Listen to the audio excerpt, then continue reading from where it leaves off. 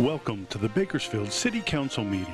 This television broadcast is brought to you by the local cable companies, the County of Kern, and the City of Bakersfield.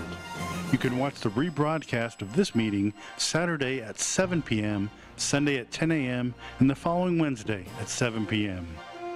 You can download the agenda for this meeting at www.bakersfieldcity.us.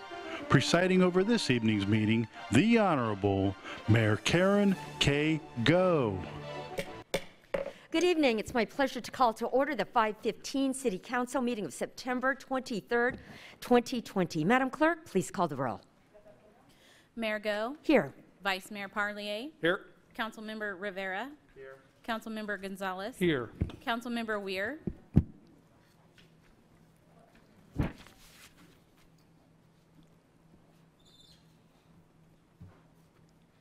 Councilmember Weir. I'm here. Councilmember Smith. I'm here. Councilmember Freeman. Here. And Councilmember Sullivan. Here. Thank you. On March 4th, Governor Newsom declared a state of emergency in California due to COVID. The governor also passed several executive orders, including the suspension of some components of the Brown Act related to meetings such as this. And Councilmember Weir is participating by phone tonight. All council votes will be conducted by roll call. And at this time, I'd like to invite Carlos Baldovinos, who is the executive director of the mission at Kern County. The mission has done so much. In the prior meeting, we talked about the expansion over there, and it has been a pleasure to work together. Thank you, Carlos, so much for, for working together to transform lives. And after Mr. Baldovinos leads us in the invocation, we then have the pleasure of having his son, Sam Baldovinos, who will lead us in the pledge. And Sam is a senior at Bakersfield Christian High School. He is my alternate appointee currently on the Youth Council, the Youth Commission, and he's also an athlete. Varsity water polo, swim, and basketball. Basketball, just like his superstar dad. A debate team, Presidential Award honoree, and California Scholarship Federation member, and then also an Eagle Scout. So we'll have uh, Mr. Baldovinos followed by Sam. Would you all please stand? And we're so pleased to have Amy Baldovinos, the mom who made it all happen. Mayor Goh, thank you for the opportunity. Council, good to be here with you again. Uh, you guys do great work. Thank you for all you do for our community. Um, you do you do so much. I appreciate you and and just uh, the support through the years you've given to Mission at Kern County. So could we pray? Heavenly Father, we thank you uh, for this day. Thank you for our city council. Thank you for our mayor. Lord God, thank you for all that they do for in this community, Lord God, and to lead our, our, our beautiful city. Thank you for their efforts, Lord God. And I just uh, thank you again that you put your hedge of protection around them. I pray that you give them that your guidance, give them your peace, give them your instruction, Heavenly Father. And again, thank you for our time together. In your name we pray. Amen. Amen.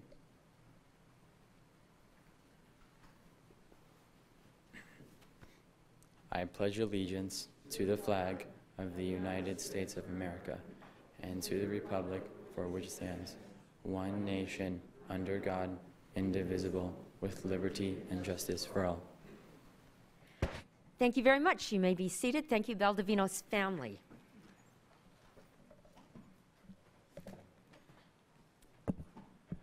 Here are a few guidelines to help our meeting run smoothly. We request you turn off your phones.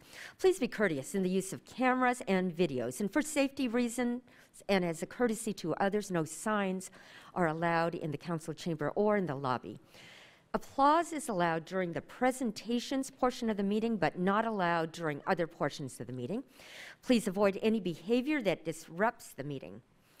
Madam Clerk, would you please read the first item? Under presentations, proclamation to Jennifer Henry, Executive Director of Links for Life, declaring Paint the Town Pink Month in Bakersfield during October 2020. It's my pleasure to welcome Jennifer and Maritza. You're going to introduce her in just a minute.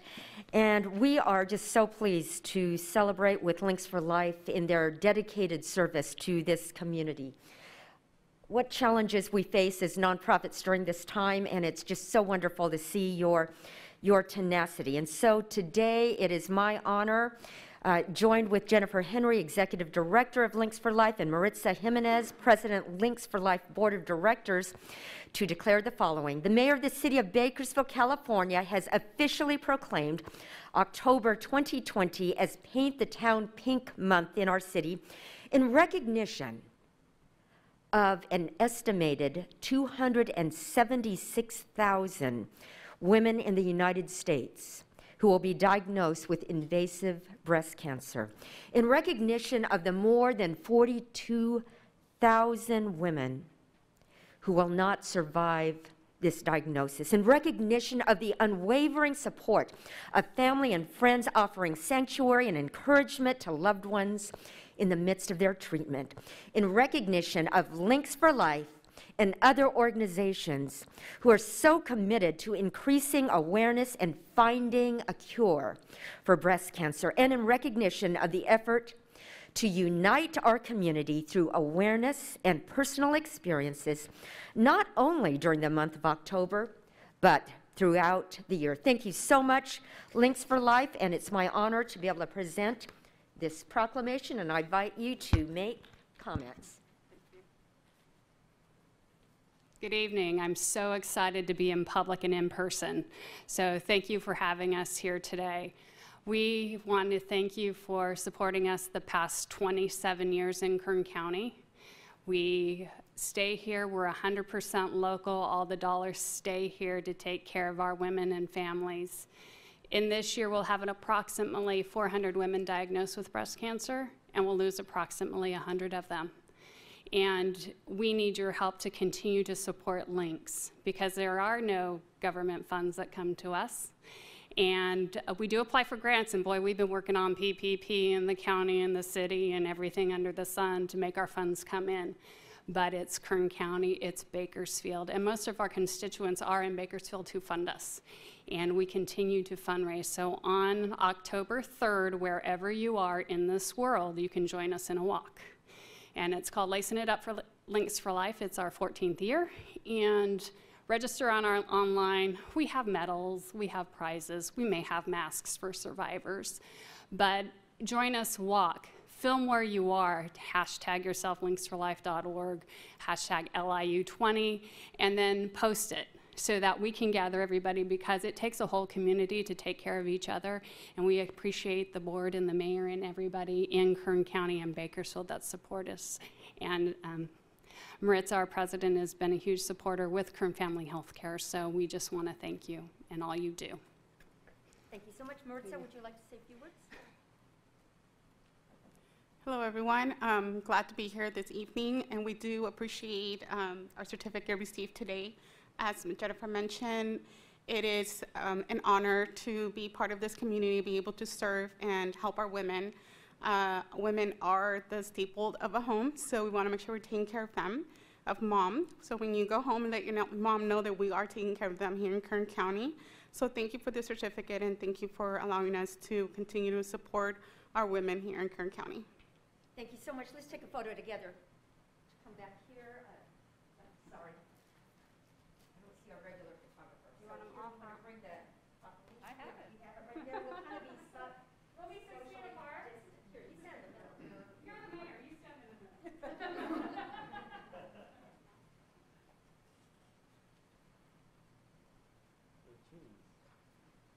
Thank you very much. Thank you.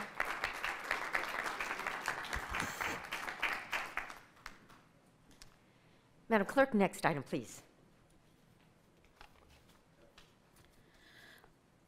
Presentations, B, Certificate of Recognition presented to Kenny Reed, owner of Guthrie's Alley Cat, for 80 years of service to Bakersfield.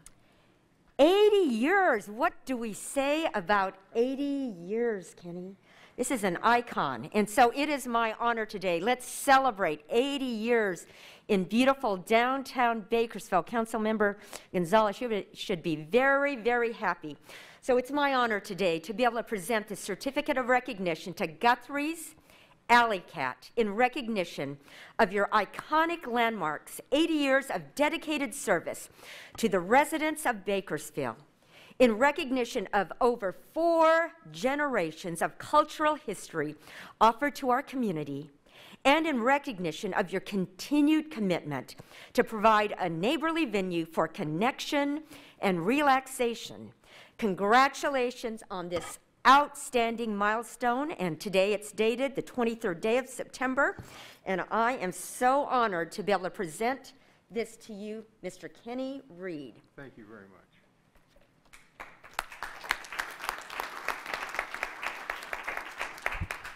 Contrary to popular uh, belief, I've only owned, owned that place for 45 years, not the entire 80 years. Uh, Also, uh, with me is Patricia Fike, who is the third generation owner of Guthrie's Alley Cat. And she will be taking it over uh, any day now. I'd- Actually, she's been running it. If I don't know what I'd do without her, I'd have probably left years ago. But uh, she has taken up, she's picked up the ball and ran with it. And uh, she's doing an absolutely great job, I tell you that. So thank you very much, you guys. I do appreciate it. Congratulations. Councilmember Sullivan, you were the one who really wanted to celebrate this, so while we're taking a photo, would you like to offer a few comments? Oh, thank you. Yes, I heard Robert Price give one of his reports about Guthrie's Alley Cat, and of course, that is very familiar and dear to my daughter's heart. They've spent a certain, uh, celebrated different uh, activities there and different occasions there. So always, Kenny's been around for a long time, and we appreciate his his efforts and his dedication to Bakersfield and downtown. Of course, uh, Andre appreciates him as well. So thanks for coming, Kenny. And another 80, another 45, of, at, at least. Thank you, Councilmember Sullivan. Councilmember Gonzalez.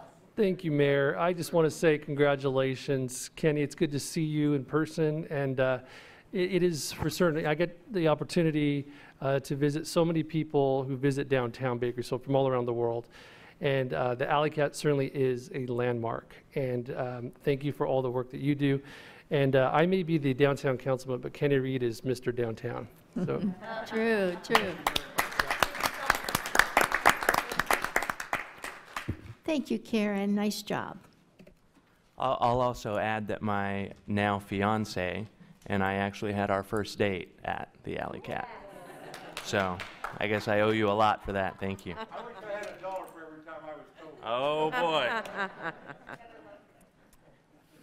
Well, congratulations, Alley Cat.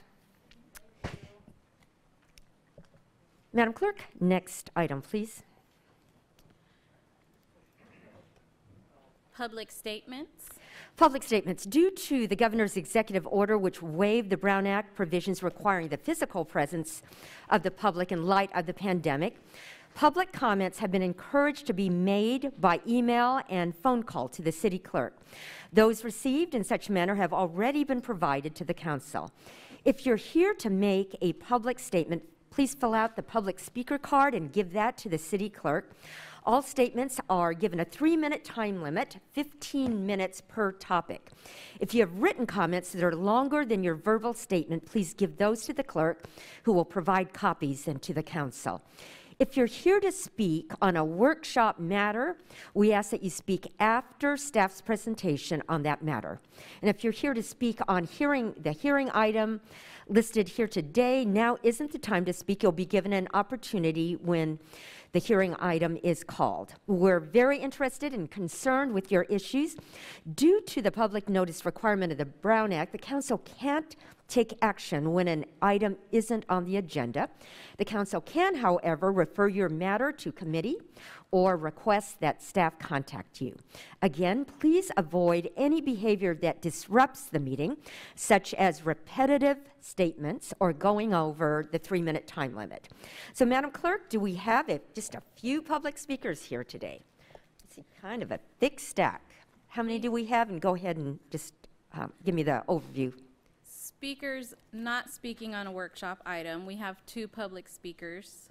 Speakers on public items, we have 30. The first of two is Mr. James Zervis.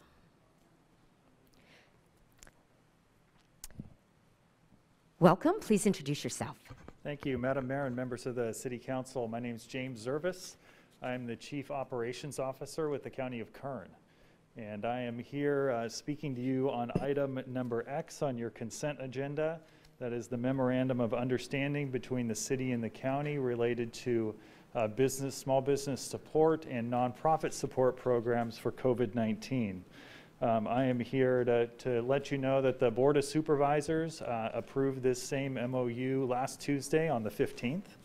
Um, and that was, uh, so that's, that's been approved, and I'm here to uh, really offer the county's support and answer any questions that the council may have uh, regarding that item that the, the county can offer. I will add that it's really my pleasure and our pleasure to be able to work with the city in this manner to really effectively and efficiently deliver these programs that are needed by the local businesses and nonprofits uh, in, in Kern County and specifically in the city of Bakersfield in this case. So uh, it's been our pleasure to work with your staff on this matter, and I'm here uh, if you have any questions. Thank you. Thank you, Mr. Zervis. What a pleasure it is to be able to collaborate. The city, the county working together for the benefit of our citizens. And we really appreciate that. Council members, anything? All right. Well, thank you very much. Thank you, Madam Mayor. Next public speaker, please. We have Curtis Bingham.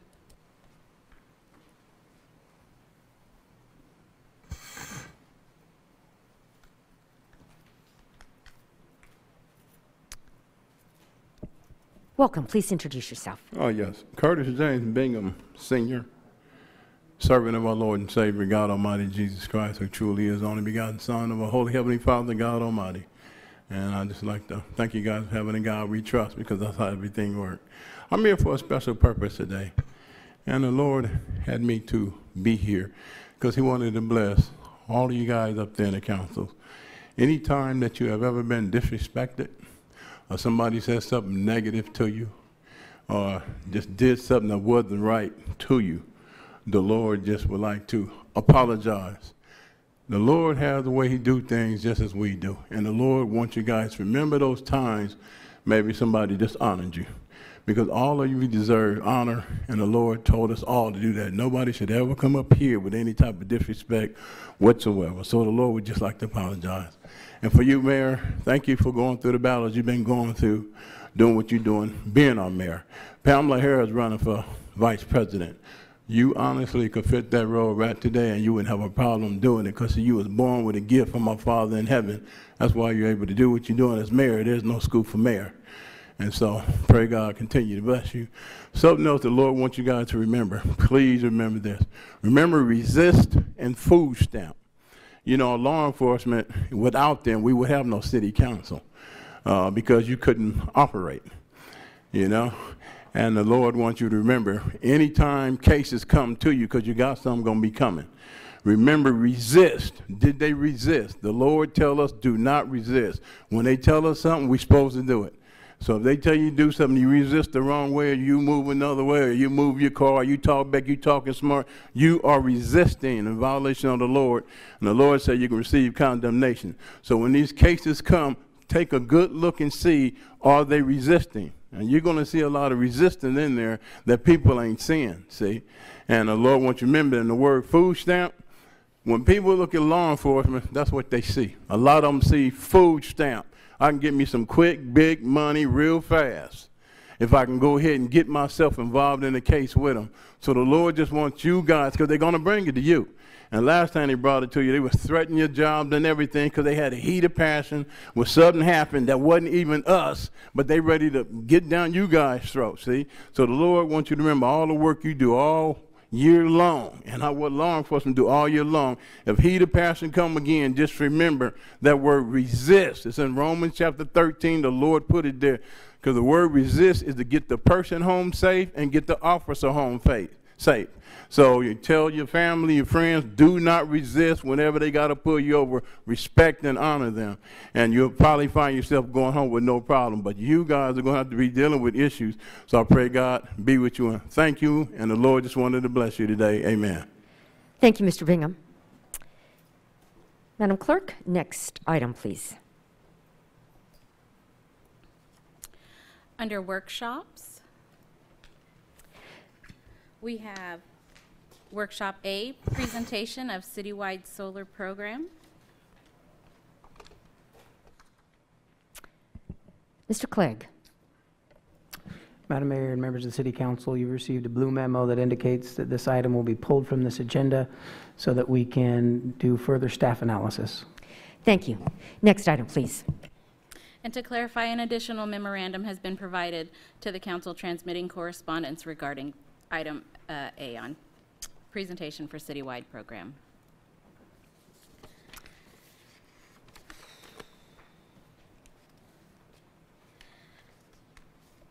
And additionally, under workshops, we have the first reading of the following ordinances, adding a section and amending various sections to the Bakersfield Municipal Code. Thank you, Madam City Attorney. Thank you, Mayor, Council, Virginia Gennaro, City Attorney. Tonight, I'm going to be giving you a PowerPoint presentation on the topic of hens.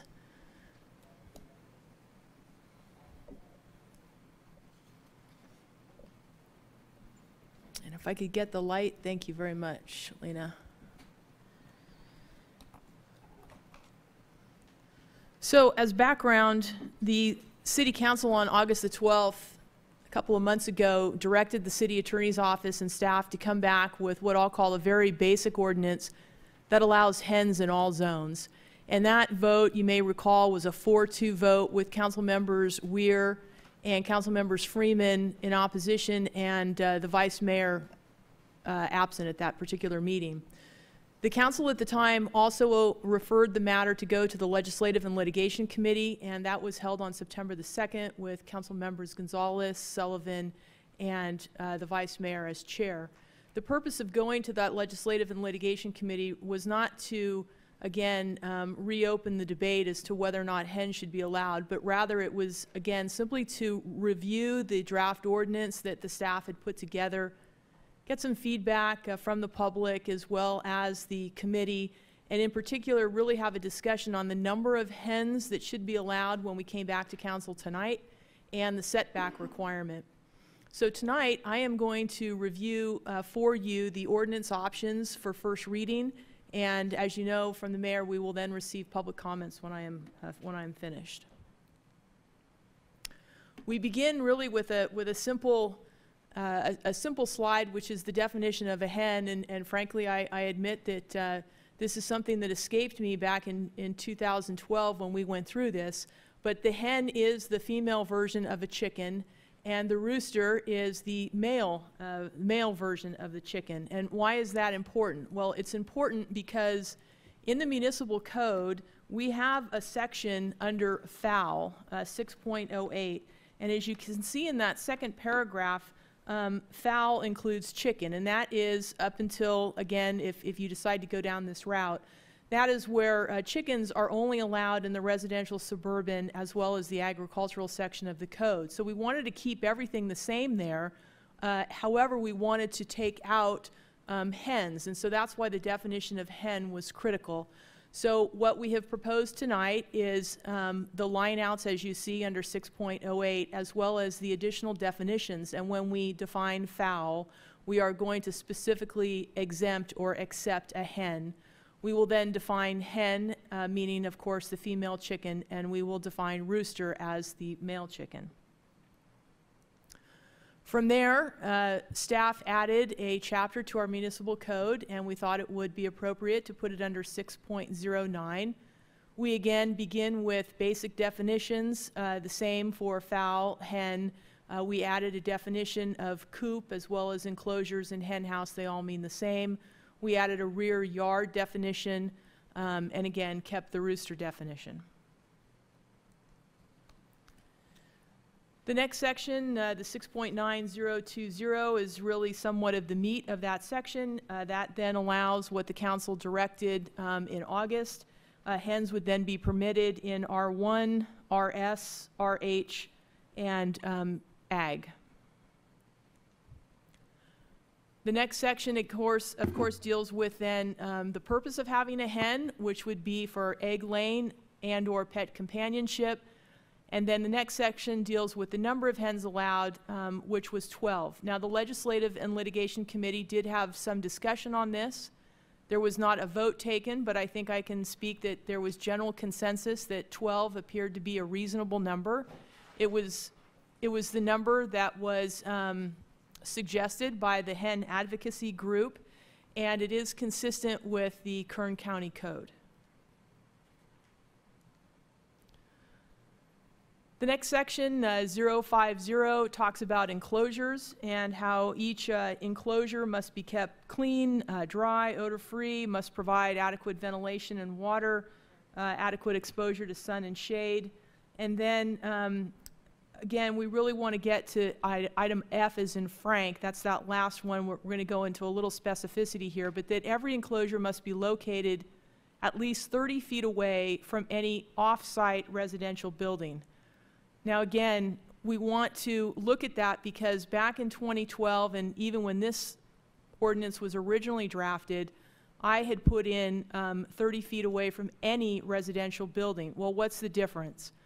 Well, if it's 30 feet away from any off-site residential building, think in your mind you have a house, you can literally go right outside your patio, you can have that coop abut your, your, your patio, and as long as that coop is 30 feet away from the next neighbor, you're okay. Um, back in 2012, and originally, we had any residential building, which would mean the coop had to be 30 feet away from your own house, as well as 30 feet away from your neighbor's house. So the 30 feet away from any off-site residential building um, would allow for more opportunity in neighbor, in neighborhoods to have coops. Again, um, we did chat about this at the Legislative and Litigation Committee. Um, we indicated to the committee that it was consistent with what the county code has. We felt that it was easier to understand and enforce, so you did not have code enforcement officers out in various neighborhoods with uh, tape measures and, and, and, and different, different types of uh, mechanisms. Um, and we've also felt that it would not eliminate all small lots. What do I mean by that? Uh, we're going to see some schematics in just a minute, but my understanding in talking with staff is that the smallest lots here in the city have approximately a 50-foot square wide lot. And so again, depending on where that lot is located, if it's at the end of a block or perhaps a cul-de-sac, even the smallest lots in the city of Bakersfield, with the 30 feet away from any off-site residential building, uh, would still have an opportunity uh, to have hens if that's what they wanted. So tonight, if you do move forward with first reading on option number one, option number one is the 30 feet away from any off-site residential building.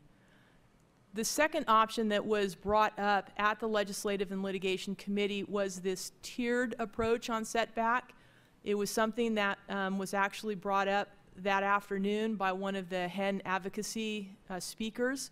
And if you decided to go down this route, uh, this was four hens for a 10-foot setback, six hens for a 15-foot setback, and eight hens for a 20-foot setback. Again, that was from an off-site residential building, not from any residential building, but rather from an off-site residential building.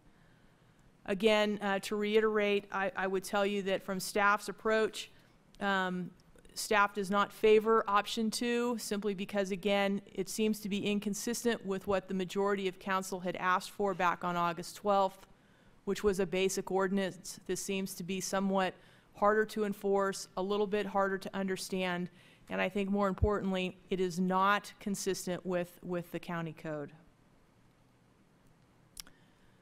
Uh, from there, the next section deals with odor and noise impacts, and we want to be sure that uh, the odor of having hens and that the noise of having hens um, is not perceptible uh, beyond the boundaries, which would cause discomfort or disturb persons, and so this would be the section that that would be contained.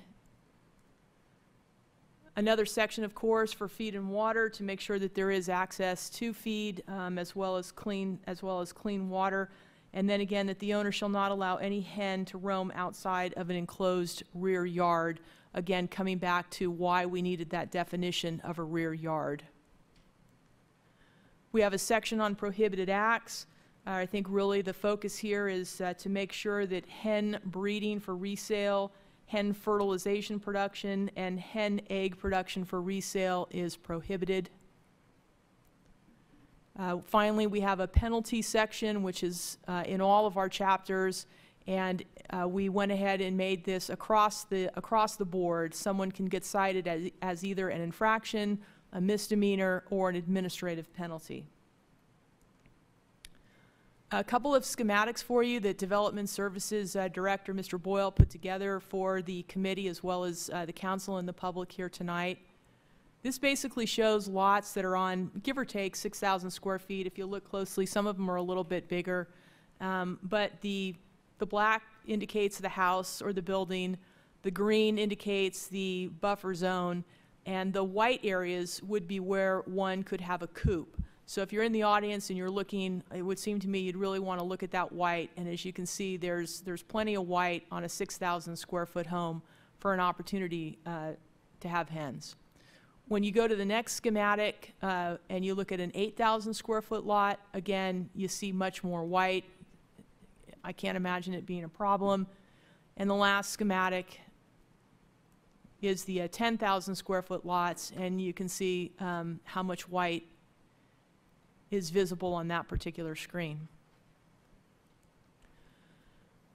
So again, um, should a majority of you decide uh, to pursue this route and allow hens in all residential zones of the city, there are some other code sections that need to be modified. Again, why? Because when we changed that definition of fowl and we took hen out of that definition, we had to go back through the code and we had to look for every place else in the code that we use the word fowl or we use the word poultry, and we had to insert um, hen. So we would need to do a first reading of our noise ordinance, which would basically add to the list, add hens to the list of animals that cannot make noise that unreasonably disturbs the peace and comfort of any neighborhood. We talked about how the definition of fowl would be changed. Uh, 6.20 would add hens, again, to the list of animals that cannot be injured during theatrical performances within the city. Uh, 15.68 would also need to be amended, um, again, to add hens to the list of animals that may not be kept in mobile home parks within the city. And then, of course, all of the zoning ordinances that you see there uh, would need to be amended in order to allow or uh, provide permissive use in order to have hens in the R1, the RS, the RH, and the A. Uh, the M3 would be uh, permissible to slaughter hens in that particular zone. So tonight, this is the last slide. Um, you really have a couple of options as I see it. Uh, one, you can do nothing, um, or you can give staff further direction, um, or you can have first reading to amend um, or first reading of section 6.09, which is the new code section, uh, option one, which is as we, I think, discussed, or you can have first reading of um, 6.09 with option two. That was the tiered approach on the, on the setback requirement. Regardless of which one, though, should you decide to have first reading on, uh, we need to have first reading also on the cleanup ordinances, which would be 6.04, 6.08, 6.20, 15.68, and then 17.10, .12, .19, .31, and .32. And so with that, I am available to, for questions, as I'm sure um, Mr. Clegg's staff is as well. Thank you. Thank you very much. Madam Clerk, how many public speakers do we have? I know some cards came in later. We have 33 public speaker cards regarding this subject. Karen, I have a quick question. Go ahead, Councilmember Sullivan. Thank you, Jenny. Uh, When you mentioned mobile home, Yes. that wasn't an eliminating factor because it still pertains to the, uh, the lot size, is that correct? Councilmember Sullivan, I'm not sure I heard you correctly, but hens would not be allowed in mobile homes the way this is currently listed. Okay, it seems like because there are mobile homes on own your own lot, it seems like it would still be focusing on the size of the lot. Well, there is a separate section, uh, Councilmember Sullivan, uh, in your packet uh, that talks about 15.68.070. That's already on the books, and it does not allow fowl or dogs or cats to run free in mobile home areas. So again, if we get that far and you don't want to have first reading of 15.38, we, we can deal with that.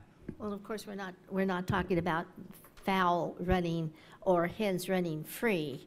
We're still talking about backyard. Councilmember Sullivan, um, this will be an opportunity first to hear from the public, and then we'll come back and you- you'll have an opportunity to comment during that time.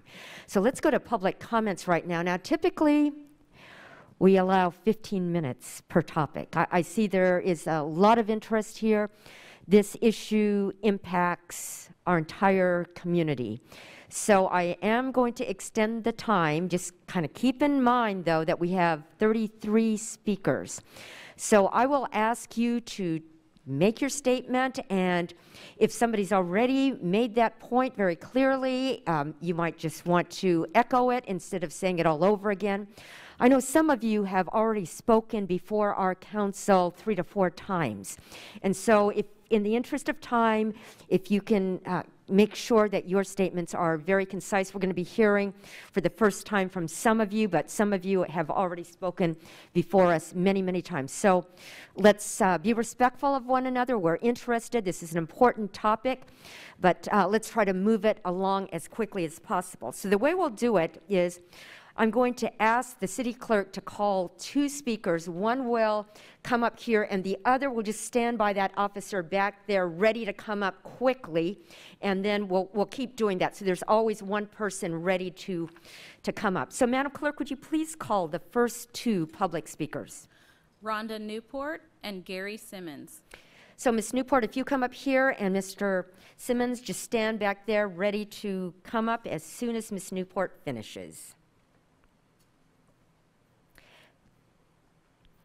Maximum would be three minutes per speaker. Good evening, Honorable Mayor Goh and council members. My name is Rhonda Newport, and I'm the president of the Bakersfield Association of Realtors. I'm here this evening representing over 2,300 Realtor members. We oppose the drafted ordinance regarding item 6B on tonight's council agenda, and I will make my comments brief. While the association's mission is to protect private property rights, we also support public policy that builds and maintains healthy and vibrant communities. We do believe we do not believe that the items before you have had adequate public discussion and thorough evaluation of the impacts on residential properties. If these ordinances were to apply to lots of 6,000 square foot more or more, that encompasses essentially all R1 properties in the city. We are ardent supporters of the land use and zoning process and believe this zoning issue and believe this is a zoning issue and should be vetted through the same zoning process. The domino consequences and unintended cumulative implications of such sweeping ordinances are far reaching, and we do not believe all possibilities have been fully and properly vetted.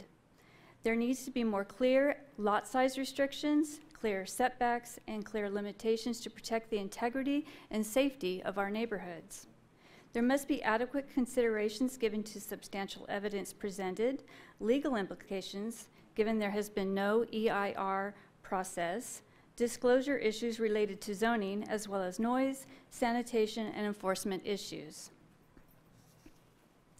Lastly, if this item is to be considered at a later date, our association would like to offer additional assistance through our access, funding, and resources, such as the National Land Use Initiative, to help provide support and comprehensive analysis in order to make the best public policy in regards to this issue.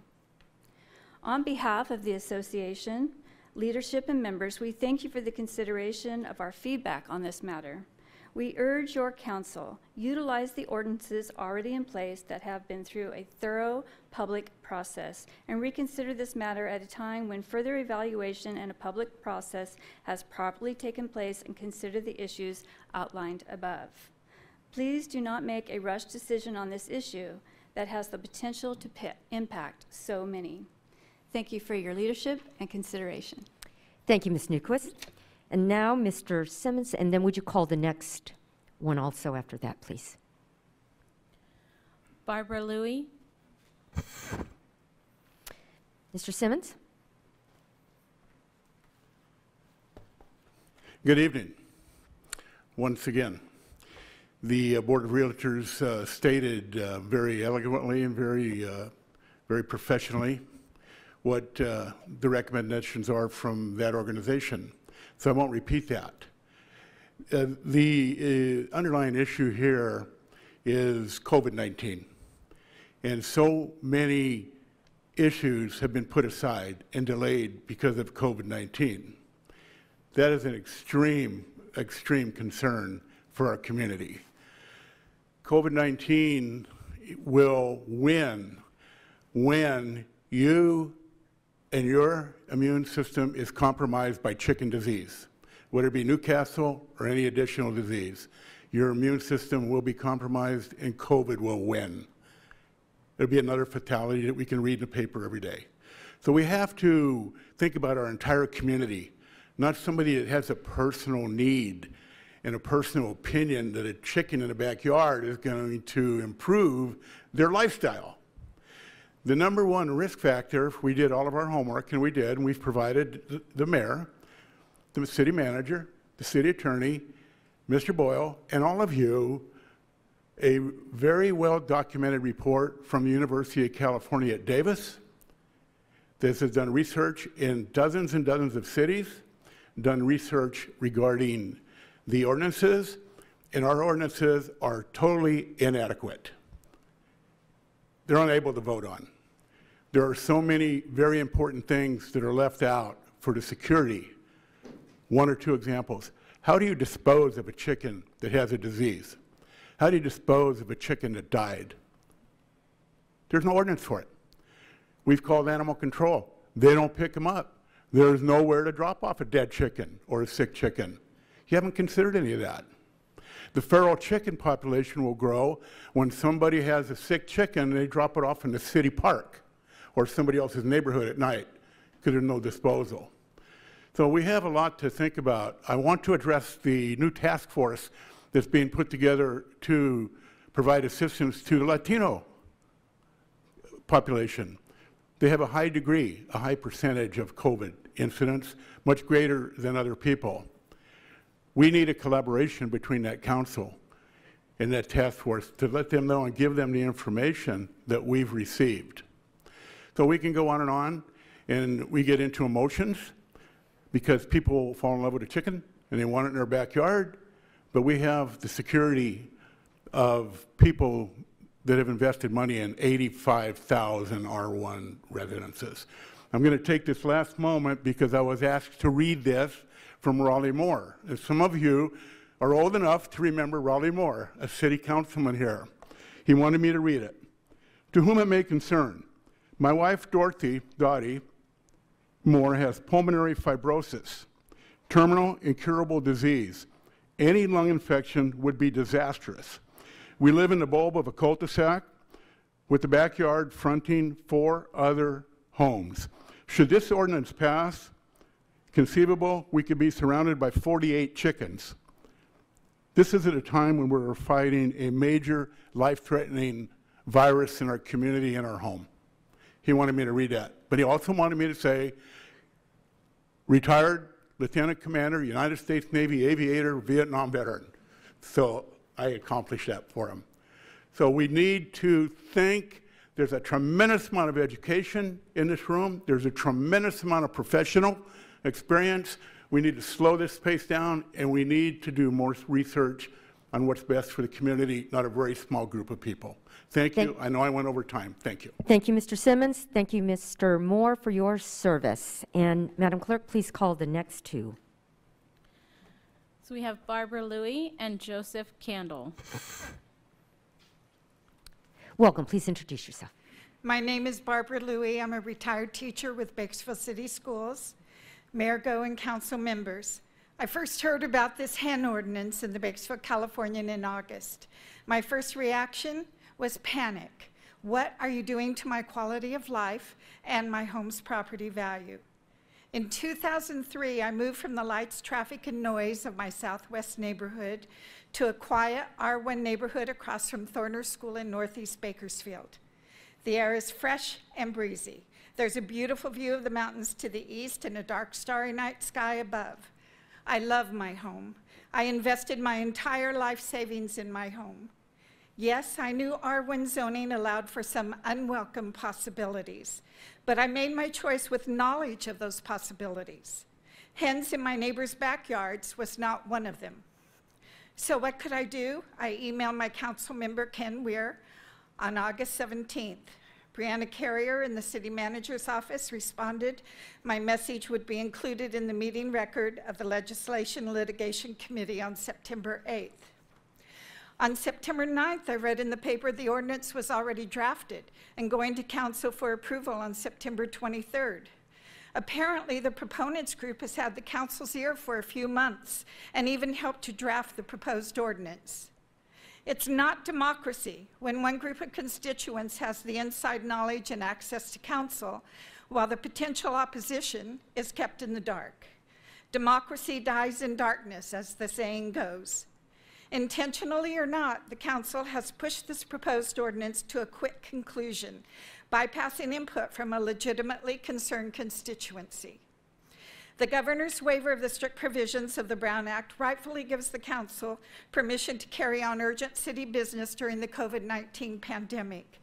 But I don't believe adding a hen ordinance at this time is either urgent or wise. Has each of you surveyed or polled your wards? Why not?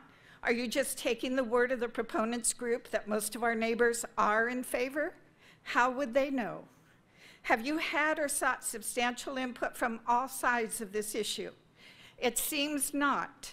Seek us out, hear our concerns. When pandemic restrictions are eased, meet with us to show us, with facts and research, how either our concerns are unfounded or how legitimate concerns will be addressed. Don't bypass your constituents. Please stop the ordinance or delay it. Thank you. Thank you, Ms. Louie. Madam Clerk, next two speakers, please. We have Joseph Candle and Amar. Mr. Simmons, uh, um, Mayor Goh and council members, my name is Joseph Candle. Uh, Mr. I'm Kendall, go- would you pull the microphone a little closer? Thank you. Okay. Um, You want me to start over? No? Okay. Uh, I'm going to repeat a little bit that Mr. Simmons just did, but uh, I'm going to take my three minutes. Uh, The effort to satisfy Council, uh, Councilman Member Smith's uh, directive to provide this council with an easy-to-follow ordinance with with few restrictions on August 12th workshop has resulted in what is, in my opinion, a a hen ordinance totally lacking in numerous, numerous areas. The absence of detail in this ordinance will result in a nightmare to- to administer to the city of Bakersfield. To me, the submitted ordinance is nothing more than a potential material for a possible TV series entitled Chickens Gone Wild. In the prior workshop, the council dismissed code enforcement issues as unimportant. Another glaring omission, as Mr. Simmons said, is animal control. How can these ordinance modifications be considered without taking into account the animal contr- control concerns? Animal control will be responsible for taking in and picking up hens that no longer produce eggs or are just not wanted, diseased or uh, dead hens, hens loose in the neighborhood bef- before becoming feral and causing accidents, prohibited roosters. Also, what's, what's the cost of this going to be? How many hundreds of thousands are we going to spend admi- administering this? Now that the overall community is becoming more aware of raising chickens, being allowed in the backyards of R1 z- zones citywide, there are many public, public health and quality issues now surfacing. These ordinance modifications, as submitted here tonight, are totally, in my opinion, unrealistic to real-life, everyday conditions and the situations of providing a real quality of life to the majority of the citizens of Bakersfield. And in my opinion, these modifications need to be rejected and stopped dead in their tracks right here, right now. And the existing ordinance, as is, as is, left in place more than ever in this worldwide pandemic times, and hopefully for at least the next 102 years. Thank you. Thank you, Mr. Kendall. Next two speakers, please. We have Amir and Donald Mixell. Welcome. Please introduce yourself. My name is Amir Abbas. I'm a real estate investor, and I thought I'd just, when I heard about this, to come and give my two uh, viewpoints and, you know, see if people can just hear what I have to say. Thank you so much for your time. Thank you, leadership, for hearing my voice. Um, basically, I focus in real um, single-family homes, and um, just an example, I bought this property um, a month ago, and we're rehabbing it right now, and um, I see a lot of pigeons in my backyard, and they're they have their nests and stuff, and then I see them over the neighborhoods, uh, the neighbor's house, and I'm just peeking through it, and I see a bunch of chicken coops, um, hens in there, and they're basically hovering over it, um, eating the the whatever you feed the chickens, and then they're going off, and there's bird poop everywhere. Um, also, I was just googling and seeing that uh, if rodents, rats issue, uh, it says rodents will eat chicken feeds, drink their water and shelter in their housing.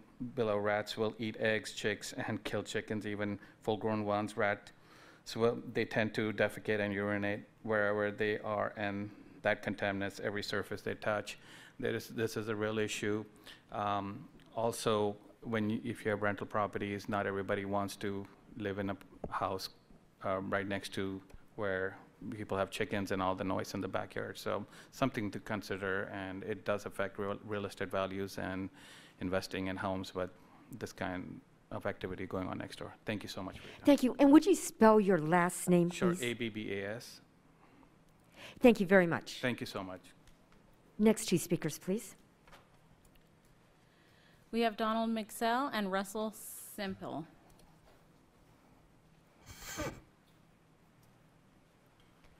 Welcome. Please introduce Hello. yourself. Uh, my name is Donald McCall. Um, I am actually against the chicken ordinance, um, not necessarily due to having chickens in your backyard, but the timing of it. Uh, with COVID, we have just too many vulnerable people out there right now. I mean, everyone in this, except for a few people here, are following the rules and wearing masks. Um, we wear these masks to keep us from a disease. The last thing we want is another opportunity to keep our, our city shut down. Our cities are crumbling financially right now, and the last thing we need is just one more thing added on top, one more potential case that is directed towards COVID death. Um, we'll never get out of this. We'll never survive financially unless we open this. Uh, another thing to th- talk about was the graph to where the chicken coops can go based on the graph that the city just presented. Most of these chicken coops are put towards the back of the home in the wide areas. Well, that puts that closer to my home. I just sold my house literally probably two months ago because there was a chicken coop in my backyard. We had a gazebo literally 10 feet from their coop. I had enough of it. I was tired of the ammonia smell in the middle of the day. Once it heated up, the ammonia heated up, you couldn't enjoy your backyard. I literally had to sell my home. Thank God I didn't have to disclose that. But once this passes, I will because it's a nuisance, because it was a nuisance. Um, if I don't disclose it and I leave, next thing you know, I'm being sued for not disclosing a nuisance. So it depreciates my home value in my sell because not everyone loves the smell of ammonia. I sure don't. Um, and you know, if anything, if I'm gonna, if my neighbor is going to have chickens, why not have them put it up against their home? Let them smell that crap. It's theirs. It's not ours. It's not my problem. I don't eat those eggs. I don't need those eggs. I go buy them at the store for half the cost it costs to produce the eggs. It's six dollars or ten dollars for homegrown fresh eggs. It's three dollars, four dollars in the store. Why not get those? Those are also monitored regularly for diseases, bacteria, salmonella. Residential chickens are not. They're trusting that their chickens are clean. How do they get dirty? They go eat their own stuff. They throw out their seeds, they go peck around, they poop, and they eat it up. Next thing you know, they have salmonella and they're eating their eggs and they wonder why they get sick. It's just this thing goes on and on. Um, and then what happens when you go to the feed store and you buy yourself your first 12 chickens and you don't know anything about them? You get home and you have three roosters. What do you do with those three babies after your kids fall in love with them? You chop their heads off, you kill them. That's what you have to do. If not, you give them to somebody else. Who do you give them to? Do you give them to the guy who's on Facebook trying to buy dogs for dog fighting? He's going to use these roosters for that? Who's going to control it? Who's going to put the money up to stop this? This could be an ever growing problem like it is in Fair Oaks, California. You can't even go to the parks there because there's so many overrun roosters because people can't have them, so they dump them off. Anyone can Google that. There's tons of them. They can't even park in streets because they have to wait for the chickens to move or roosters to move. It's just, this thing is not thought out um, fully, um, and it can be. It just needs to be taken the time to walk through each one of these potential problems that other cities are definitely having. This is not a surprise. It's people aren't responsible anymore. They're just not. Here's a great, another great example. How many people you see in grocery stores that refuse to wear masks because they don't care? They don't care about you. You think your neighbor's going to care about your chickens? They're not. So thank you for your time. Thank you, Mr. McCall. Next two speakers, please. We have Russell Semple and Jane Seller. Well, Welcome. I'm here to present a very positive view of having backyard hens. You've heard a lot of drama, a lot of mystery about, oh my goodness, we're having a COVID crisis and let's add to it. Well, let me tell you, folks, our thousands of kids are at home and they're taking care of their dogs and their cats. And their pets are something that are bringing them some joy in this COVID crisis. Let me tell you, I've been an educator for the last 30 years, and um, I'm very proud to be here, and thank you for allowing me to tell you that hens, not roosters, hens, are very adorable, and they do provide very good pets and companionship to the kids. I've talked to dozens of students in the past 10 years that have hens in their backyards currently. They love them. They take care of them. It's responsibility.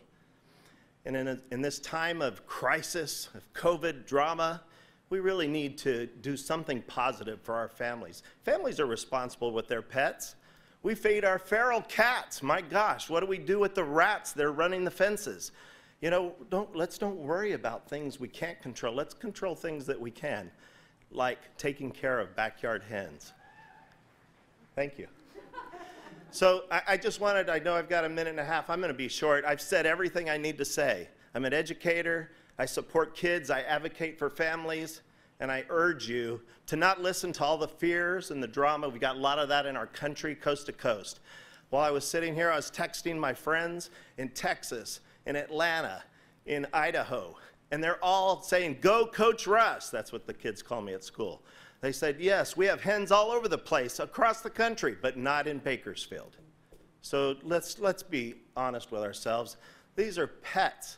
These are for families. We're going to take care of our pets. We take care of our kids, we take care of our pets. So please consider a vote yes for backyard hens. Thank you very much. Thank you, Mr. Semple. In the lobby, in the lobby, uh, we're just going to ask you to cooperate. Uh, we just don't have applause during this portion of the meeting. I know that you are very passionate, but uh, in the interest of uh, just our decorum, I'd ask you not to applause. Uh, I'm Jane Cuellar, and I simply want to say that I'm strongly in support of the backyard um, hen ordinance passing, and I did send an email with more information um, addressed to my council member Freeman. Thank you. Thank you, Ms. Cuellar. Next two speakers, please. We have Michelle Harp and Leanna Harp.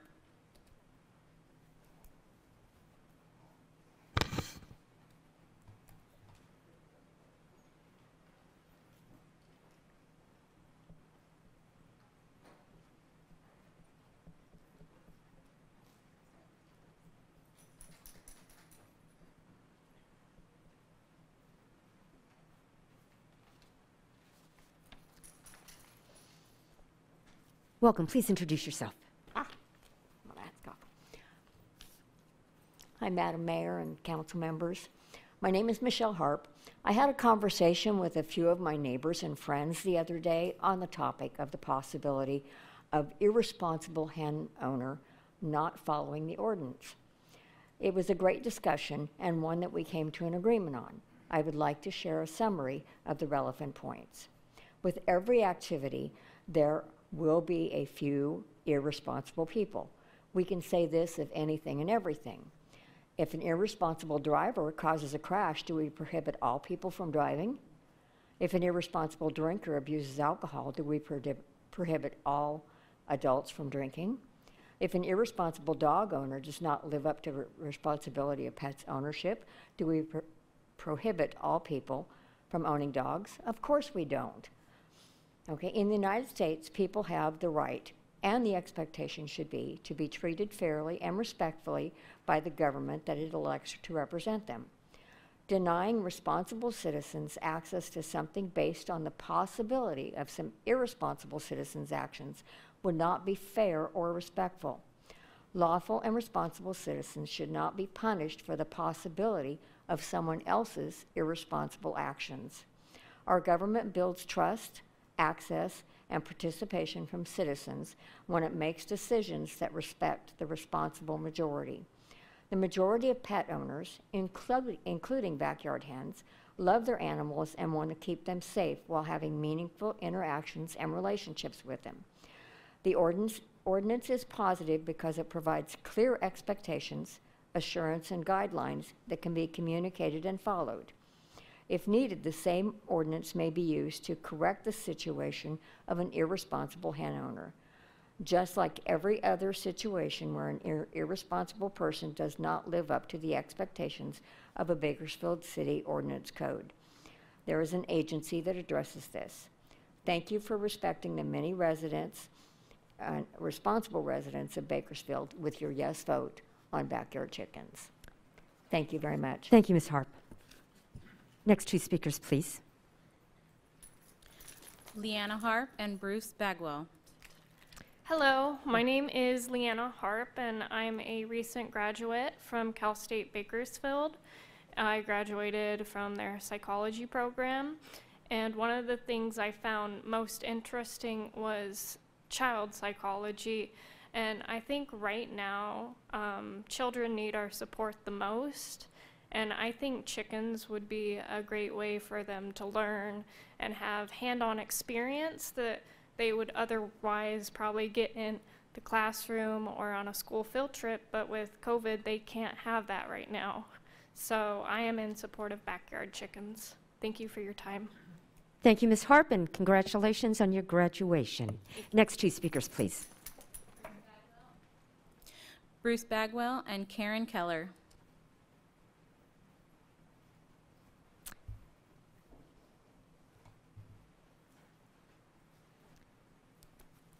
Welcome. Please introduce yourself. You might want to raise the mic a bit. Thank you. Hi, I'm Bruce, and I've spoken to you guys before, Bruce Bagwell. And I just want to say I appreciate your taking the time um, to hear us all out at the many meetings that we've been here.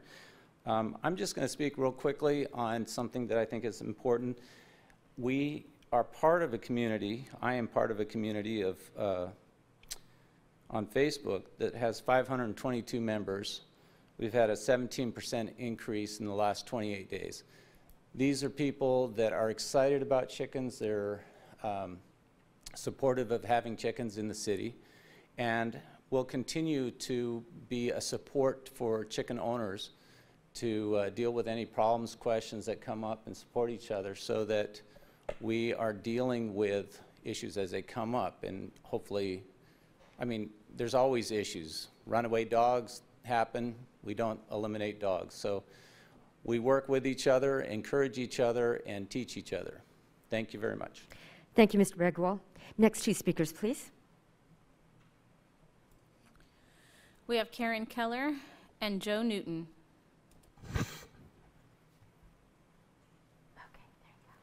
Um, I'm Welcome. Karen Keller, and I support backyard hens. That's it. Thank you. Thank you, Ms. Keller. Next two speakers, please. Joe Newton and Callie Beckwith. Welcome. Thank you, Council and Mayor, Honorable Mayor. My name is Joe Newton, and uh, I wear three hats, actually. I'm a property owner for the last 50 years in uh, Bakersfield, also retired from Bakersfield College. One of my students sits up there. You can guess which one. And thirdly, I work with the uh, Realtor Association, Board of Realtors, as you know it to be. Um, what caught my attention, I've been the ombudsman for the Board of Realtors for the last 11 years. Ombudsman, as you know, is the one who is the complaint department, shall we say. I, what caught my attention to this matter was what the uh, City Council of Clovis announced, uh, at least through the Fresno Bee. Uh, I don't know if you've read what the council in Clovis has done. I'll just read to you, and this will get the gist of my point to you tonight. Residents must wait for the decision to allow chickens. The council delays the vote. The reason they give is the stress on the staff, the police, the animal services. They're worried about two things. They're worried about self-governing and how to enforce it. So perhaps some of you do know the council there get more intimate uh, information.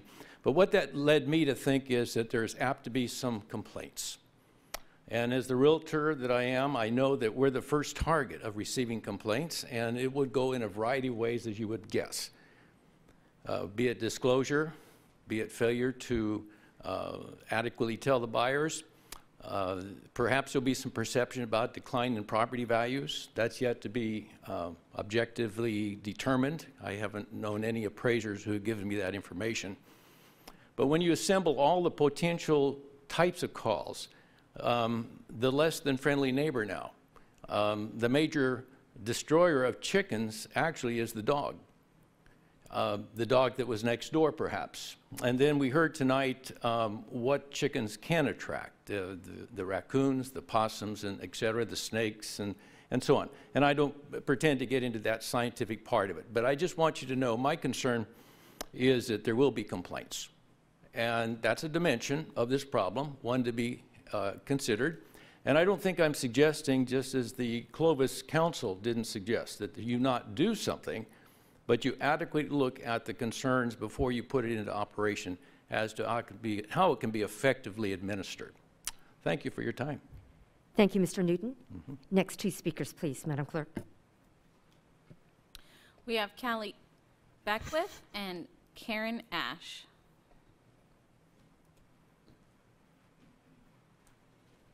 Good evening. Welcome. I'm Callie Beckwith, and I want to share with you a photo of my bananas that I'm currently growing. This is thanks to our chicken manure. So we have a quarter acre lot, and um, we grow over a thousand pounds of organic food in our garden. And that's not, um, it is a luxury, but it's also a necessity, as it is for many, many homes in, in Bakersfield. So I'm in support of hens for the food sovereignty that it provides and the um, organic eggs. Um, I want to address the concern about safety and um, certain illness and death for neighbors that has been, um, you know, sort of brought up as a, as a point of contention.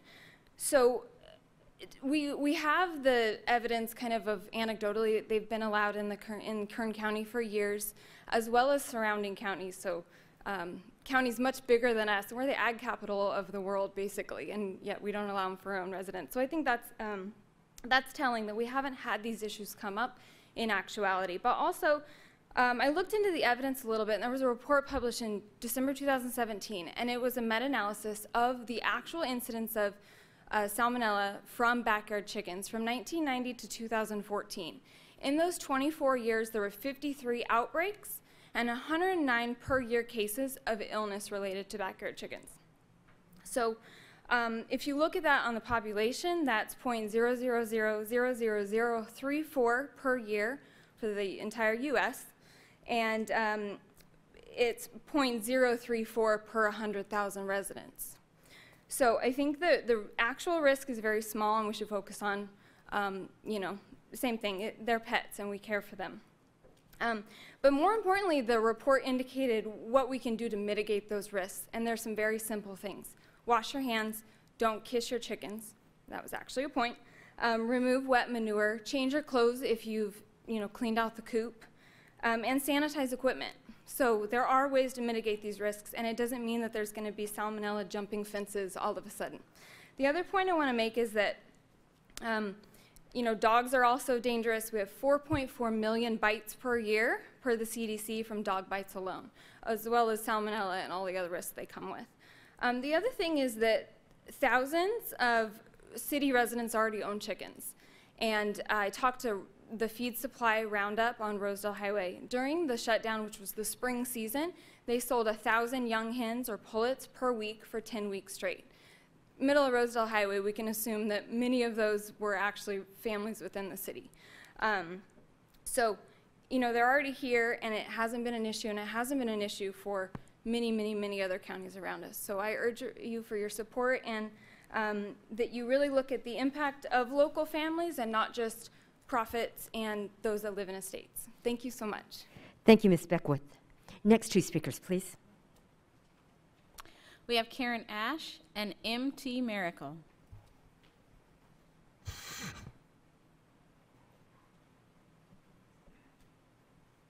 Hi, I'm Karen Ash. I live in the city of Bakersfield in the R1 area. I'd just like to respond to the last lady's comment about the feed store out on Rosedale Highway. That is all zoned out there for animals. They're zoned where they can have a horse, they can have FA, uh, the FA, FFA projects, fair projects. They're zoned. They're city, but they're zoned for animals. Now, our area, we, I've been in my house for 22 years. I'm now retired, and I really enjoy my house. I'm one of the areas that she talked about with a real shallow backyard. I don't even know if I'm 50 feet from my neighbor's fence. If they build a chicken coop on that fence by my patio, when I go out there in the mornings or in the evenings to barbecue or have my family over, we're going to have that nuisance of the chickens there. And they can say what they want. I was a farm girl, I was raised on a farm. Chickens are noisy. They say, oh, they're, they're kids' pets. Oh, but the kid's going to have to wash their hands and do this. How many kids do you know that's going to be playing out in the yard with a chicken or a dog or go in and wash their hands, even during this COVID thing? But anyway, I just want you to know I'm totally against having chickens in our area when there's so many areas that allow them. And the thing, one other point. First, they start with the chickens. Then you're going to have a fair project. Oh, we want a goat. How many goats are we going to allow in this R1 area? It has to all come before the council again. So I just think that there's a place for chickens, there's a place for goats, there's a place for dogs and cats, but our area is not ready for chickens. Thank you. Thank you, Ms. Ash. Next two speakers, please. We have M.T. Miracle and Jack Miracle.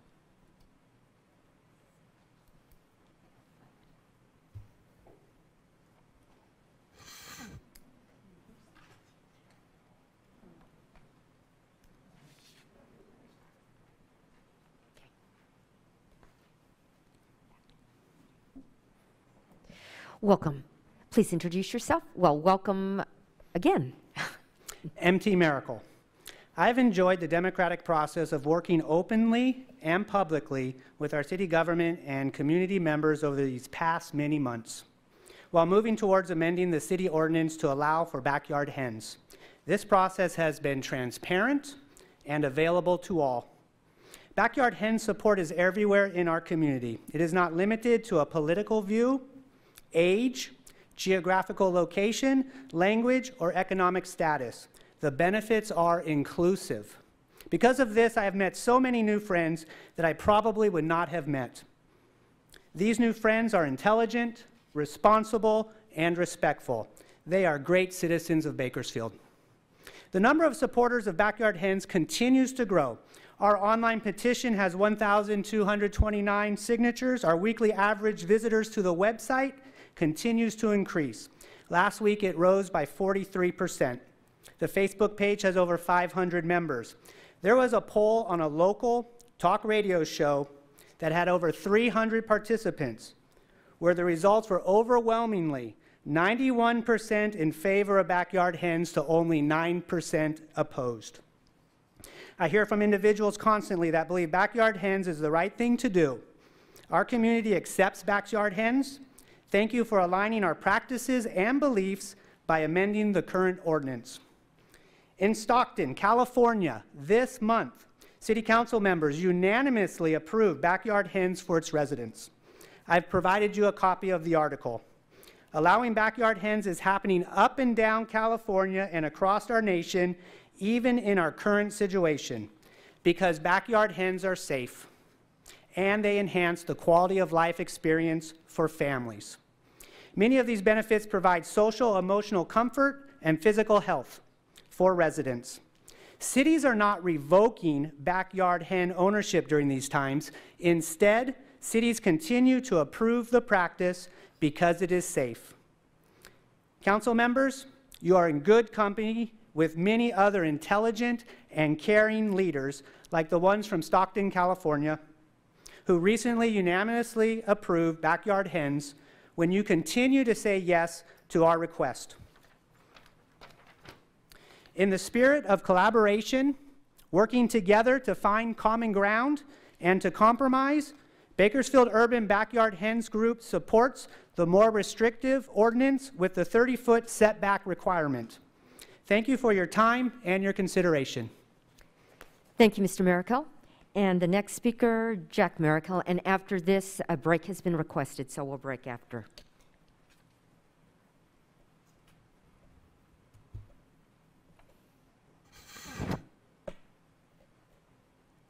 Welcome.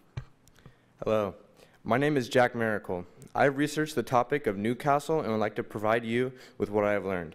The following statements come directly from the California Department of Food and Agriculture, the CDFA's official website, from a brochure they have titled, quote, Newcastle Disease Information for Bird Owners, end quote. I have provided you a copy of that document. Number one, quote, human health is not a food safety concern. Properly cooked poultry products are safe to eat, end quote.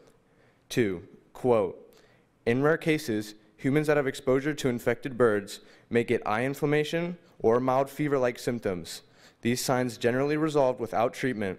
Infection is easily prevented, end quote. Three, the CDFA's recommendation to keep flock safe, quote, keep your bird's area clean, keep new birds away from your flock for 30 days before introducing them to the flock so you may watch for illnesses. Do not borrow equipment, or if you do, please make sure to disinfect it first, end quote.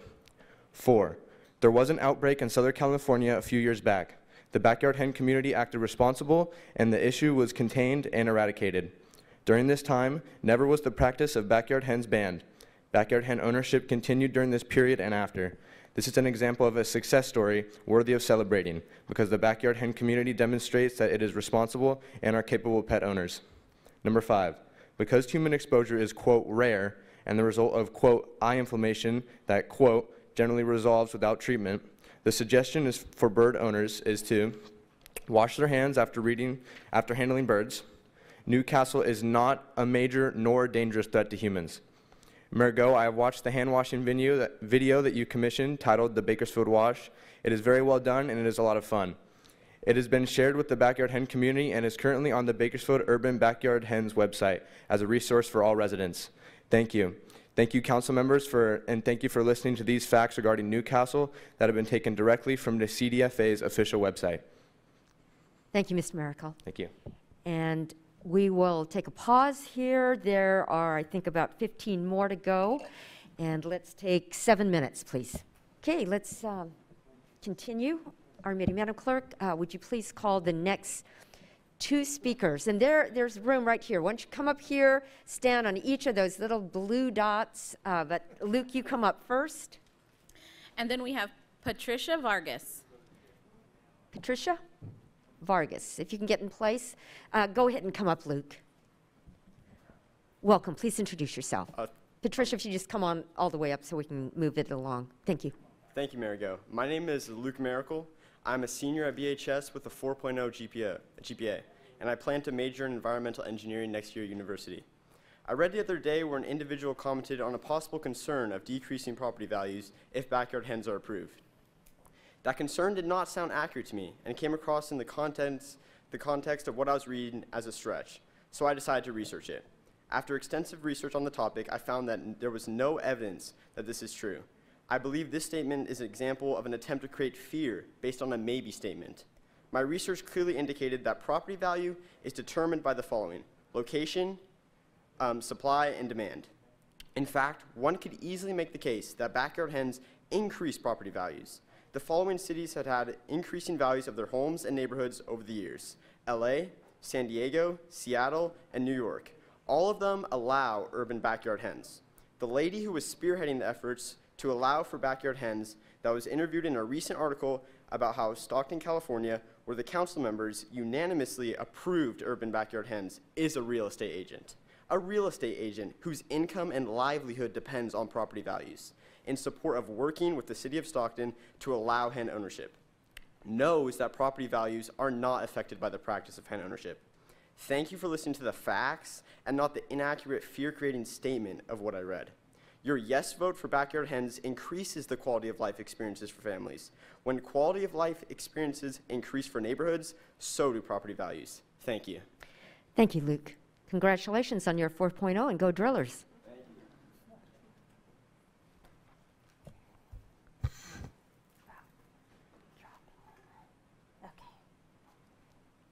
Welcome. Please introduce yourself. Hi, good evening. My name is Patricia, and I support Backyard Hens. And like most of the educators that are here today have mentioned how hens are really good for the kids, I do believe that it is a great big part of their child development, especially right now during COVID times. A lot of the community has mentioned that this is not the time, it's not needed right now to have this pass, but I believe this is the right time. This is the time that we should be uh, thinking of our children uh, because they are the ones that need it the most right now during these COVID times. Thank you. Thank you, Ms. Vargas. Next two speakers, please. We have Melissa Alsop and Mike Lyons. Thank you.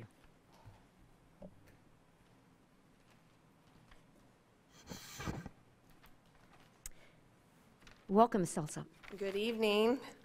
Thanks so much to city staff for all the hard work that you've done on this. There's a lot of work going into that, and I really appreciate that. I cannot believe how much fear mongering there's going on tonight here with people. Ryan and I kept hens for three years in Laguna Niguel, where um, property values are skyrocketing. And my, our buyers actually asked to keep our coop when we left because they loved it so much. And I never had a problem with ammonia smell or anything like that.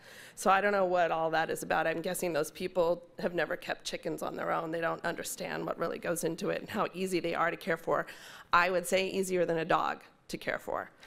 Um, I just wanted to ask for your support tonight for a change in the ordinance to allow hens. We had to give up our hens when we left Laguna Niguel because it wasn't allowed in the city and Ryan refuses to break a rule. So um, I think for us, uh, the hens, the hens were a great um, teaching tool for our kids. We got them at a week old and raised them in our house until we moved them into their own coop. We never had a problem with salmonella or anything else. Um, we, we found that they made very sweet pets. They gave our kids a chance to understand how food is raised and grown and how important it is to take care of the environment that the animals we use to nourish our bodies um, are to be cared for well and responsibly. Um, I think the people that are worried about the noise situation, um, chickens cluck at about 70 decibels, dogs are at about 100. Um, so I think th that argument is kind of moot at this point. Um, I think that the reality is, and I hope you guys all know this too, that, that not everybody's going to keep hens. Might be one out of 100 residents in Kern County or Bakersfield to keep them, and I think it would be something that would enhance Kern County and Bakersfield. It would be an enticement for people moving here who want a bigger lot, who want to have a lot like Callie over here where she's raising her own food. And we're getting more of those people now from LA because they are distance working. And let's, let's make Bakersfield just a little bit better by allowing them to live the life that they would like to, to live. Um, we will join 95% of the most populous cities in America that allow hen keeping. Cities like Austin, Texas, San Diego, Long Beach, Ventura, Stockton now also have them. I think we'd be in great company there, and I think giving your residents the freedom to, to do the things they'd like to do within an ordinance like this would be great. So thanks again for all your hard work. I appreciate it. Have a good night. Thank you, Ms. Alsop. Next two speakers, please. Mike Lyons and Wendy Caff. Michael. Mr. Lyons, are you still here? Let's go on to uh, Wendy Keff. Okay, uh, next two speakers, please. Kevin Lugo and Kirk Boland. Mr. Lugo? Mr. Lugo? Okay, um, Mr. Boland? Oh, Mr., is that you, Mr. Lugo? Lugo? Come on up. Wendy. Wendy?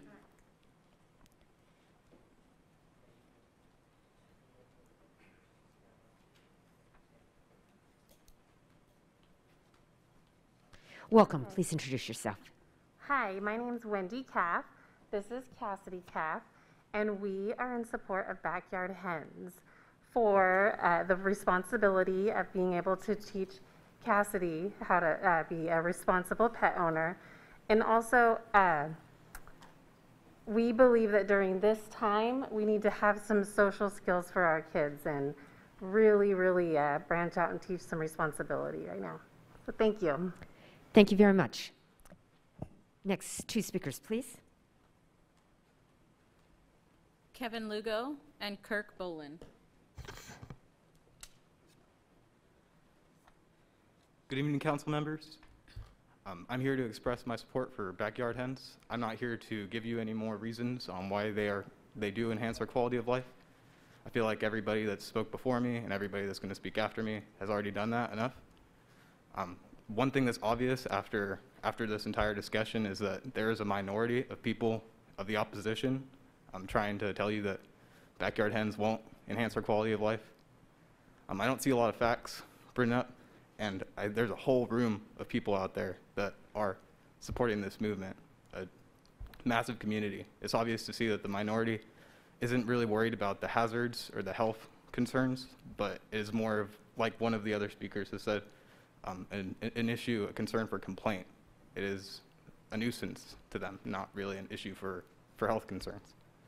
So again, I just want you guys to, to take into consideration the, the community and the room full of people out there that is full of advocates trying to get this passed. Thank you.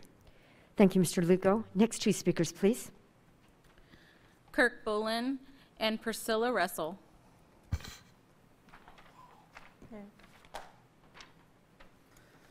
Good Welcome. evening, council members. Uh, My name is Kirk Bolin. I live in Ward 4. During this COVID-19 pandemic and the broken food chain supply, we've seen products such as eggs not available at the grocery stores. And when they were available, they li- they were sometimes limited. The passage of this ordinance would support a sustainable food system by providing an affordable, healthy, and nutritious source of protein through the production of fresh eggs. COVID 19 is not a reason to delay the passage of this ordinance, it is more of a reason to allow back- backyard hens. Since the COVID 19 has started, cities across the, the country have started allowing backyard hens. As MT mentioned, Stockdale just approved theirs earlier this month.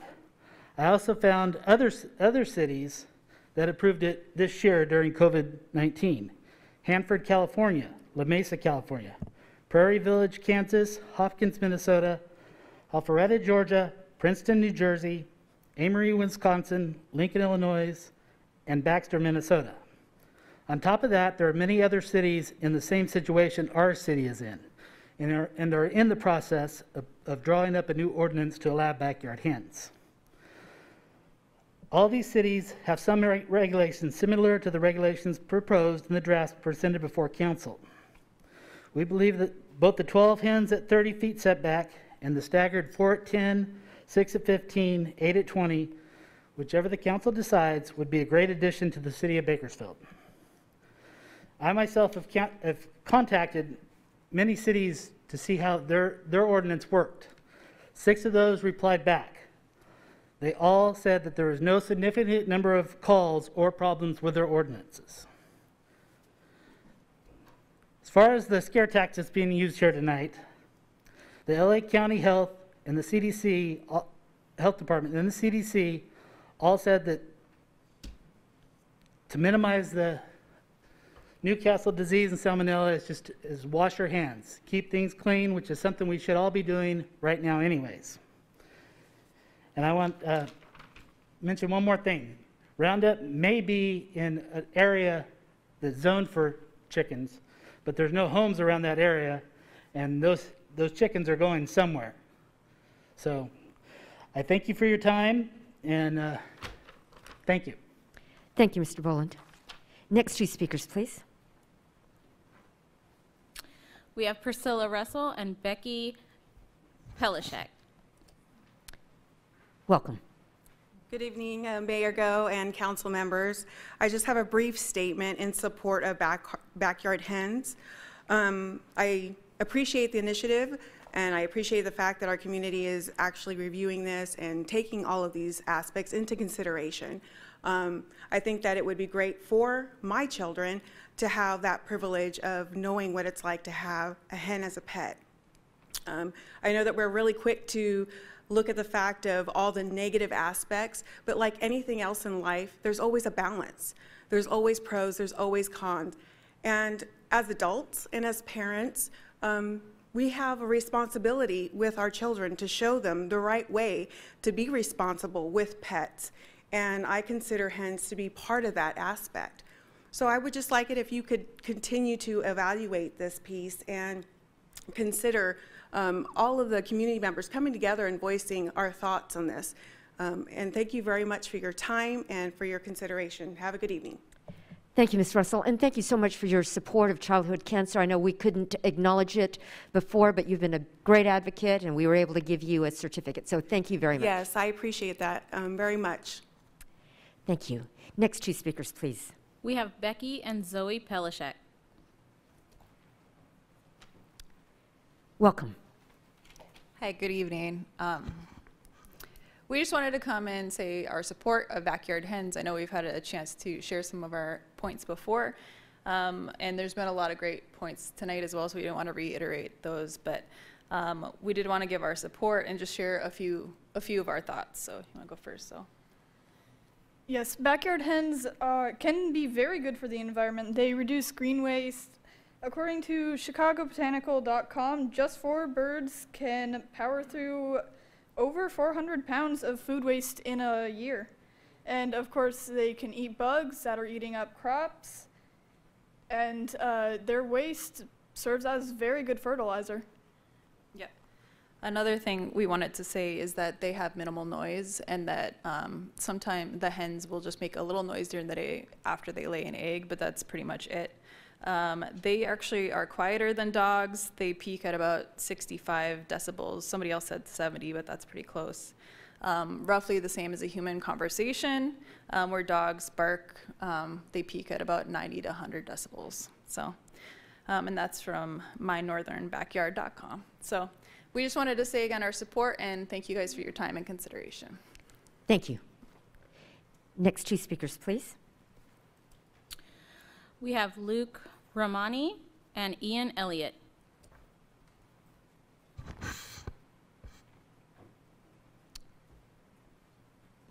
Go ahead and announce them again, please. Luke Ramini and Ian Elliott. Welcome.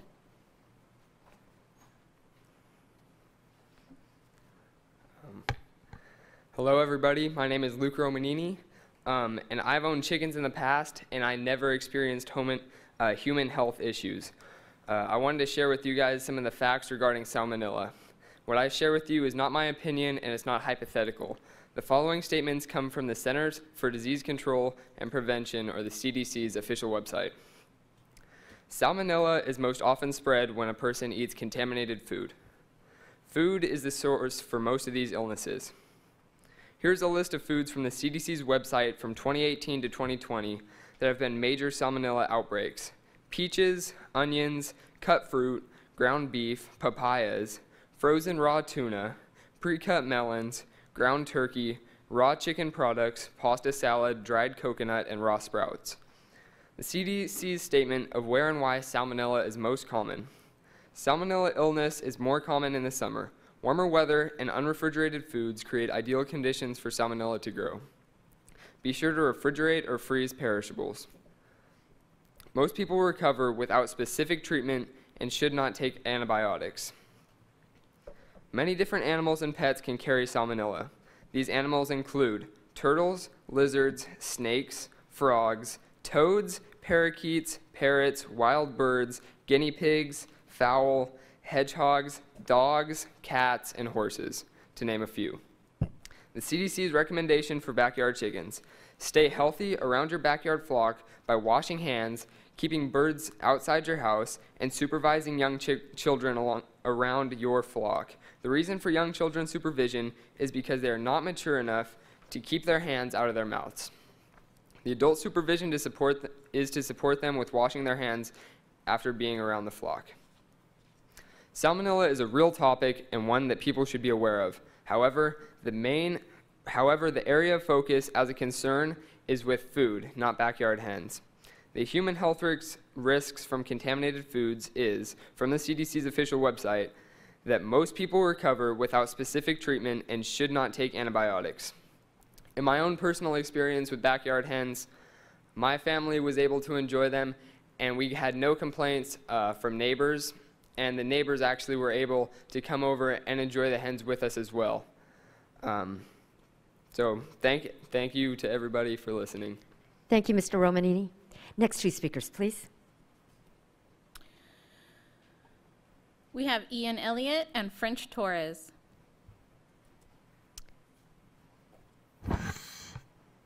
Mr. Elliott? Mr. Torres? Evening, council members. Mr. Gonzales, you may not remember me, but from you gave me one of my first jobs. I appreciate it. I just want to acknowledge, acknowledge you. But from a family of 14, um, I come from 14 brothers and sisters. Uh, we were raised with uh, backyard hens, and I have actually 10 children uh, currently. So I would like to allow my kids to experience that too. So I'm in support of backyard hens. Thank you. Thank you, Mr. Torres. Next two speakers, please. We have Jesus Ochoa and Hannah Fortin. Mr. Ochoa? Mr. Ochoa? Okay, we'll move on to um, Ms. Fortune. Welcome. Hello and good evening. Uh, my name is Hannah Fortin, and I am here in support of Backyard Hens. I will make this brief, but as a healthcare worker during COVID and the grocery hoarding freakout, um, my coworkers and I seriously struggled to purchase food. Earlier this year, uh, limited store hours, extremely long lines, and large disruptions to our um, food supply chain left us taking turns during our lunch breaks and PTO hours in order to uh, purchase food for our friends and family. Um, with the current political and social climate, I'm also not convinced that these things are over. I was fortunate enough to have a friend who owns backyard hens, and I can't stress enough the importance of those delicious and fresh eggs. At times, they fed me breakfast, lunch, and dinner. To the man who spoke earlier that said, Go buy your eggs at the store, I hope you never struggle to feed your family. I believe we all should have the right to grow and raise our own healthy food. Thank you for your time and consideration. Thank you, Ms. Fortin, and thank you for your service as a healthcare worker. Next two speakers, please, Madam Clerk. We have Isadora Watt and Miriam Marquez.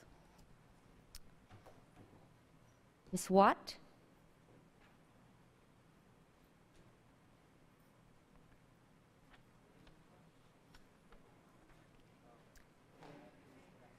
Welcome. And Ms. Marquez, if you're, uh, go ahead and come on up. Welcome.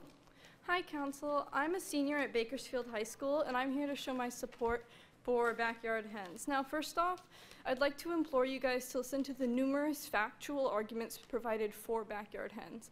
Um, there's not much salmonella risk. There's, um, it offers fantastic experiences, teaches people about providing their own food, encourages sustainability and learning where your food comes from.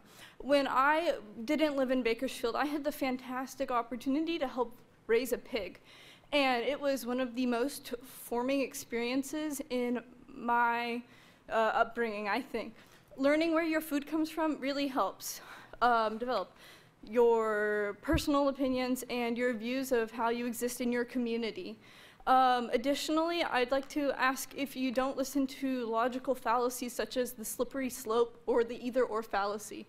Um, a lot of people brought up COVID 19. WHO and the C- CDC have been telling people that we need to move more away from factory farming and indu- industrialized food production and more towards sufficiency and small scale production for years. When it came to the avian flu and the swine flu, if we would have had um, we would have had more small scale and more humane practices and not so many antibiotics and a very small gene pool because of um, genetic um, um, genetic um, variations and those kind of antibiotics, we could have avoided a lot of deaths. And I would like to thank you guys for your time and ask you to really consider the facts that have been presented. Thank you. Thank you. Next two speakers, please. We have Miriam Marquez and Zima Richardson.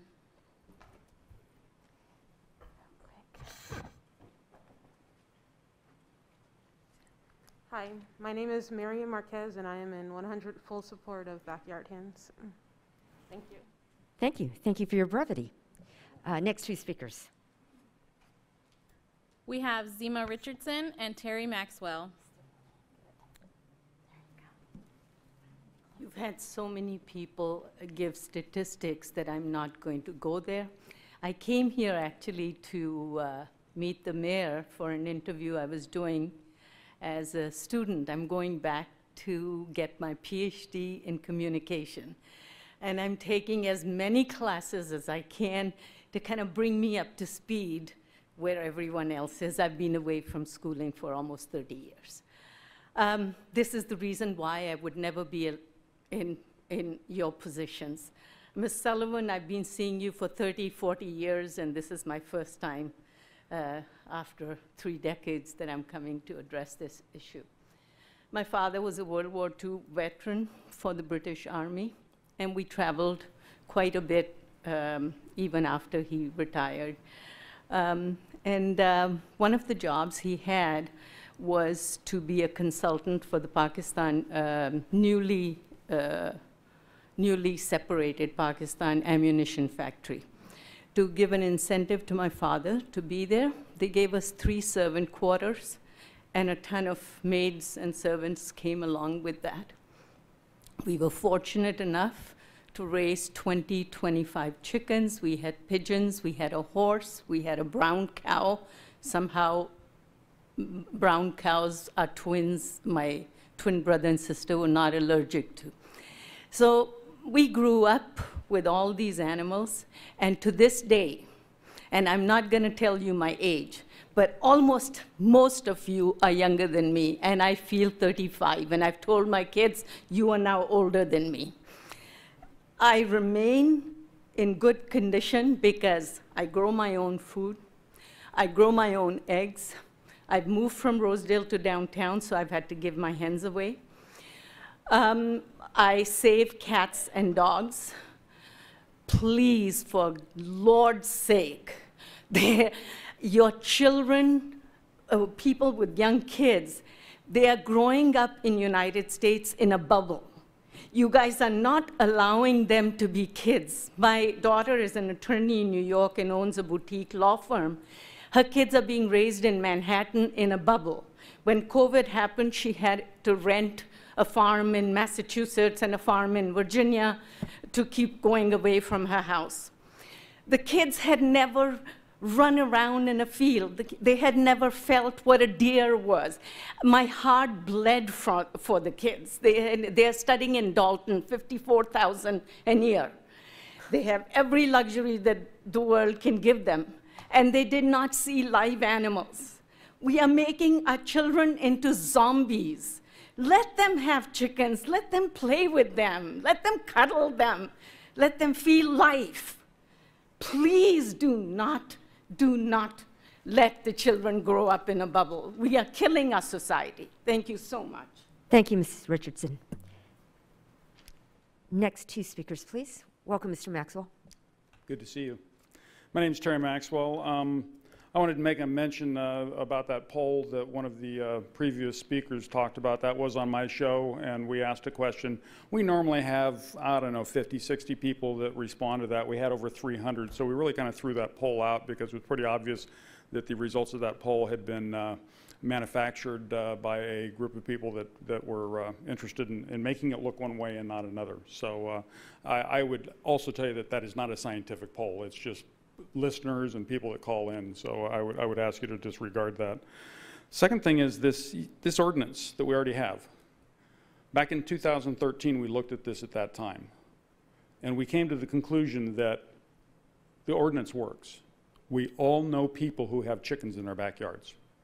And if you're responsible, keyword responsible, then usually you don't have any problems with your neighbors. They don't complain, they, they think it's, it's great. And a lot of the speakers up here have talked about, oh, we talk to responsible people that want to have these, these chickens. Did you talk to any irresponsible people? Do you know any irresponsible people who are going to get those chickens? They're going to put them out in the backyard. Yeah, we've got these ordinances and you're supposed to follow these rules, but they don't follow those rules. And the next thing you know, you've got a problem because a lot, a lot of the neighbors are not happy with what's going on. You have to look at the cross section of Bakersfield. Whenever something like this comes up, you don't see a cross section of Bakersfield. What you see is people who have a self interest in wanting everybody else to allow them to have what they want.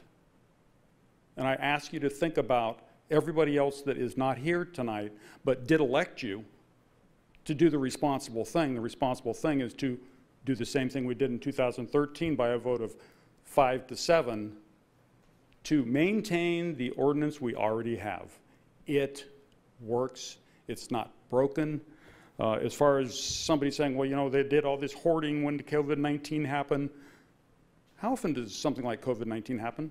So we're going to change everything because in 20 years, COVID 19, something like that might happen again? I would ask you to think one thing also. Two of the members of this council will not be here after December if nothing else, table this issue and allow a new council to look at this again. It will then have, you'll have some time.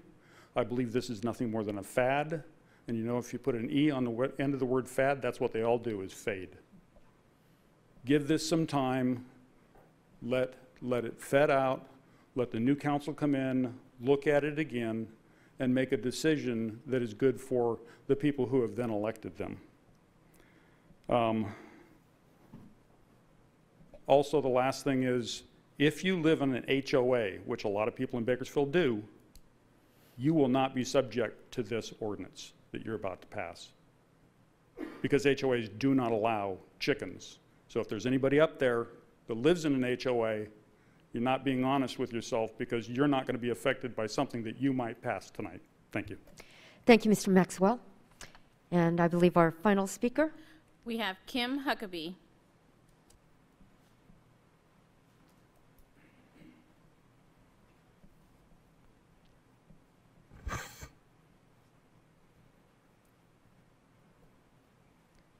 Welcome, Ms. Huckabee.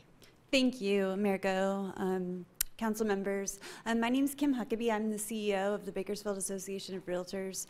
Um, I didn't intend to speak tonight. We submitted our comments in writing, but a couple things came up that um, I just felt compelled to, ad to address really quickly. Um, one was value. And then also, um, Gary Crabtree, who is a member of ours, uh, well-known appraiser, our author of the Crabtree Report, um, had sent me uh, some comments earlier today, and I just wanted to quote him real quick on two things. Um, he said his reaction to what is proposed uh, to you tonight is that hens are farm animals, thus should require RS zoning. If it is proposed that to place the hens in an R1 zone, then rather than changing the zoning, require a conditional use permit, which would allow uh, neighbors to weigh in on the matter. Um, he goes on to list many of the issues we already addressed in our letter. But then finally, um, his biggest concern as far as value goes goes back to what Mr. Newton was addressing, and that's disclosure. Um, he said uh, the fact that realtors would have to disclose this condition on adjacent properties to prevent lawsuits from buyers for non-disclosure. In my opinion, this could be termed as an adverse influence and cause loss in marketability and value. All in all, I think it's a bad idea. Um, so thank you for the opportunity to, pro- to provide that. Thank you, Ms. Huckabee. And I believe that concludes our public statement. So at this point, we will return it to council for comment and action. Councilmember Freeman. Thank you, Mayor. Well, I know most of the people have left, but I want to thank them all for coming down tonight and, and giving us their ideas. Um, I do believe that everyone who spoke tonight uh, spoke sincerely, and I think the people who are uh, advocates of the backyard hens, I believe all of them would take care of their chickens responsibly. I think they all are, you know, know what they're doing. Um, I won't call them farm people, but some of them clearly have a lot of farm knowledge. So uh, I respect them and I, and I would trust them.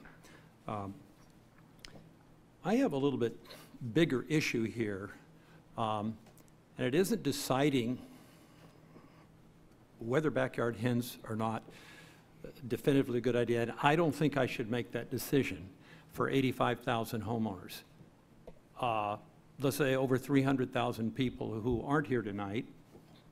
We've heard 30 people who are in favor of it, and we heard some people who aren't. We have letters, they were sort of half and half, 40 of them. Uh, 2,300 realtors who are against it. We have a letter from the home building industry, all the builders are against it. Um, there were a lot of issues raised that I think were legitimate, that needed to be, need to be vetted further. The health and safety issue, I think clearly we need more research and need to know more about what we're doing, uh, especially when we're not going to have registration or monitoring of any of these backyard hens. Because, but the bigger issue is we're proposing to change the basic zoning, the most fundamental zoning in Bakersfield for 85,000 homes and all the thousands of homes in the future. We no longer will have R1 zoning. This is a new form of zoning. I think the realtors were right. It should be dealt with in, it, in the proper places, which would be places like the Planning Commission.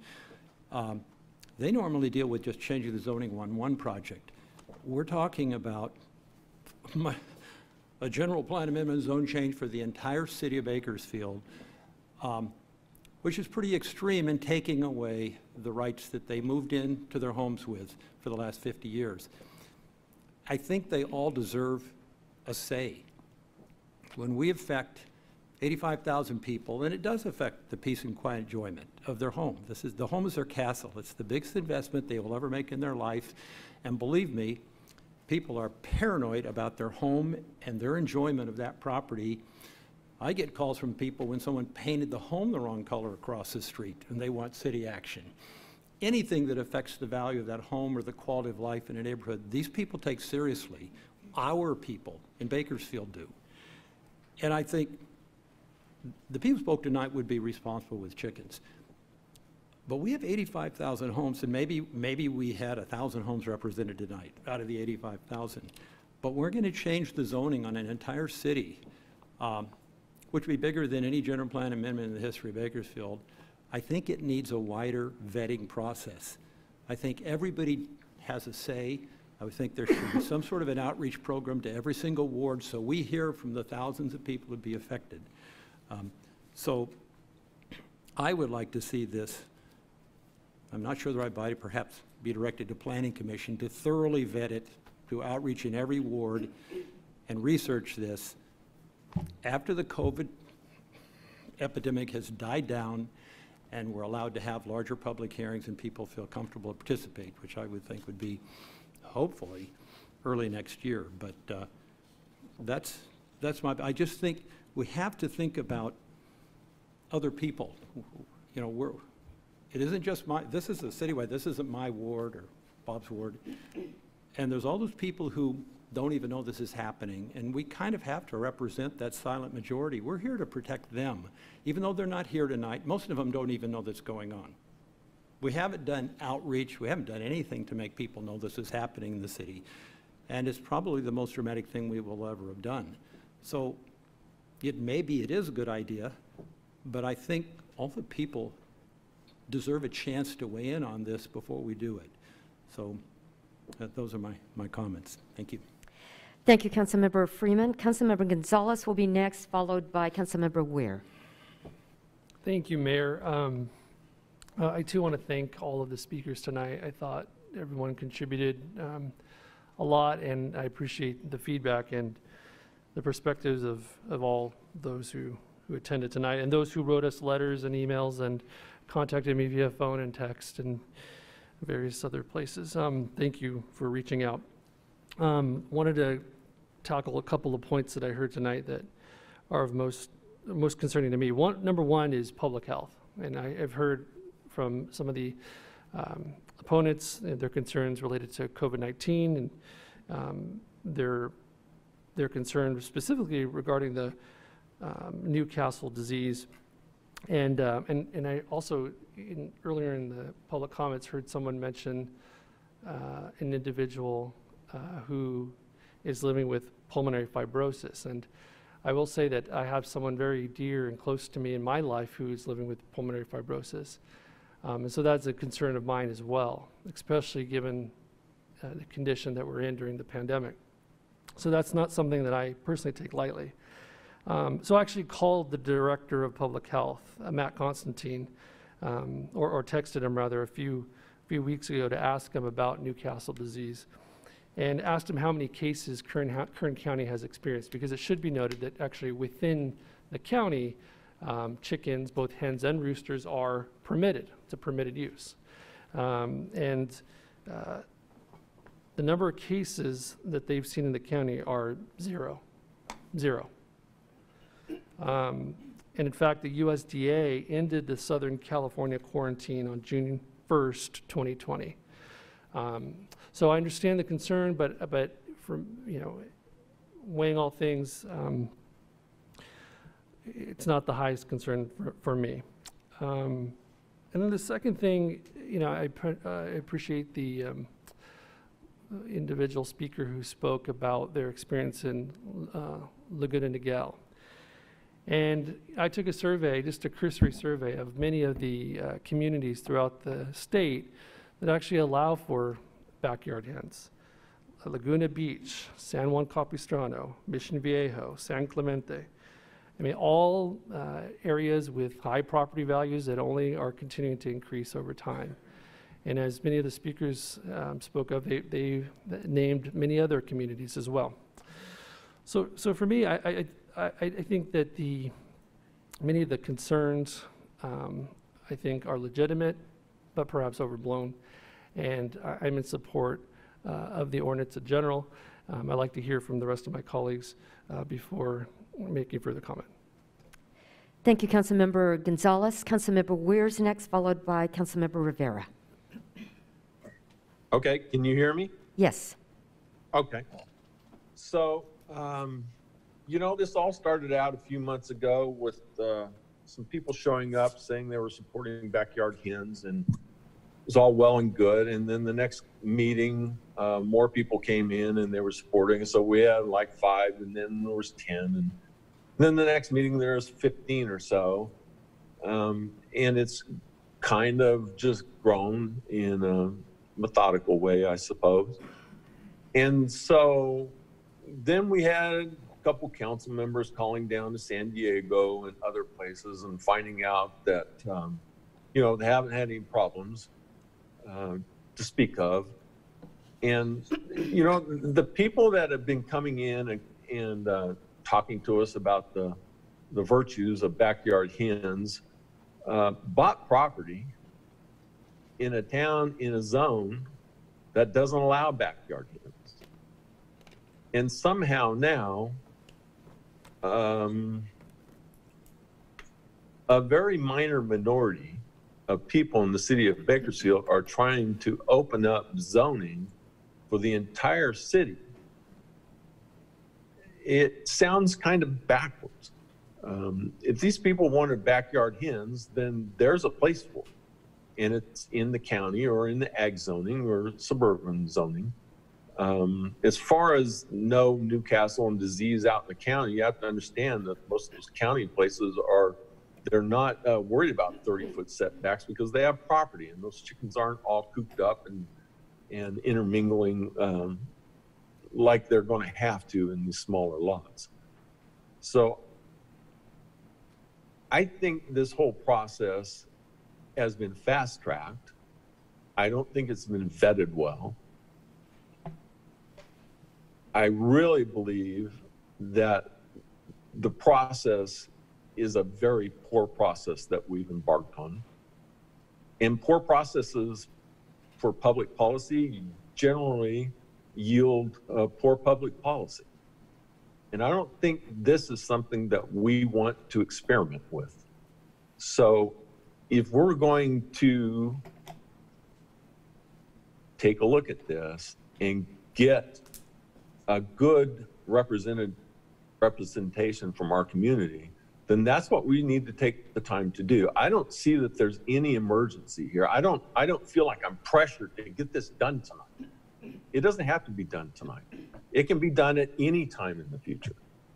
So I really don't want to support a poor process, a poor way of developing a public policy that's going to lead to a poor public policy. And, and I cannot believe that the majority of people in Bakersfield uh, really want hens in their neighbor's backyard. It, it is, you know, when my kids were growing up, they had a facility that they could keep hens in, and it was uh, zoned properly, and my kids would go down and they would take care of it, and they'd raise their hens, and they'd get the eggs and sell it, and you know, it's all a great little thing. But they weren't doing it in my backyard, which would not have been appropriate. And I don't think it's appropriate for a small minority of Bakersfield residents to expect the entire city uh, to kowtow to what they want without really knowing the results of what that would be. So I think this is a poor decision. I think it's a poor process, and I think the policy is going to end up being a, um, an inferior policy. So I'm not going to support this. Thanks. Thank you, Councilmember Weir. Councilmember Rivera, and then Councilmember Sullivan. Thank you. Thank you, Mayor. Um, so I have a, I have a few questions for, for staff. I think one of the first that came to mind early on in the meeting was, was on the enforcement front. I'm kind of curious. We have, we have a, a rule on the books now that doesn't allow uh, backyard hens, but I think everyone in the chambers knows that folks obviously still have backyard hens. Do we receive a lot of complaint calls? Does code enforcement find themselves responding to a lot of calls right now?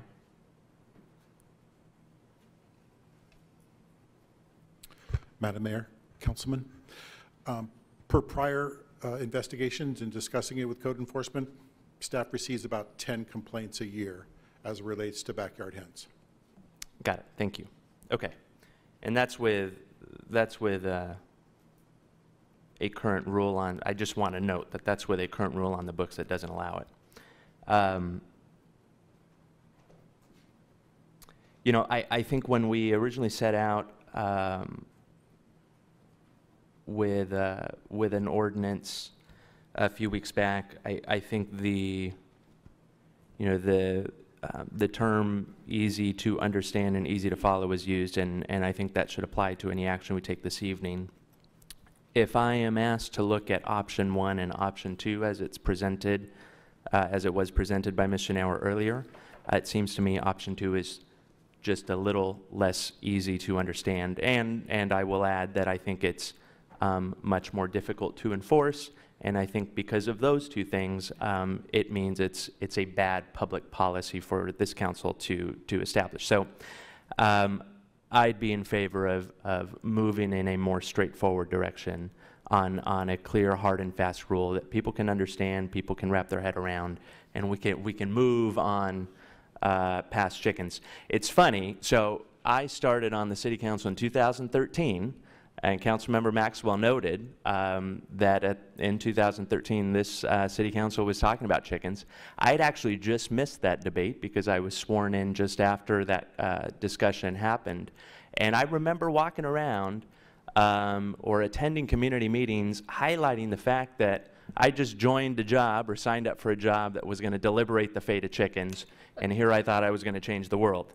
Um, and here I am, three months left in my term, um, uh, discussing chickens. Uh, it'll be the last big thing uh, I talk about on the Bakersfield City Council. Uh, so you just kind of gotta love how how uh, how the world works that way. Um, you know, I mean, full disclosure, and I, I think I've told council members up here, I've I had two chickens, Betsy and Myrtle, uh, two leghorns in my backyard. They, uh, and so did my neighbors. I never found them to be a nuisance. I imagine I was louder in the shower when I sang than they ever were in their pen. Um, and I thought there was a lot of value uh, in um, Betsy and Myrtle being a part of my life. Um, I mean, I went the extra step to name the damn thing, so they must have meant something to me.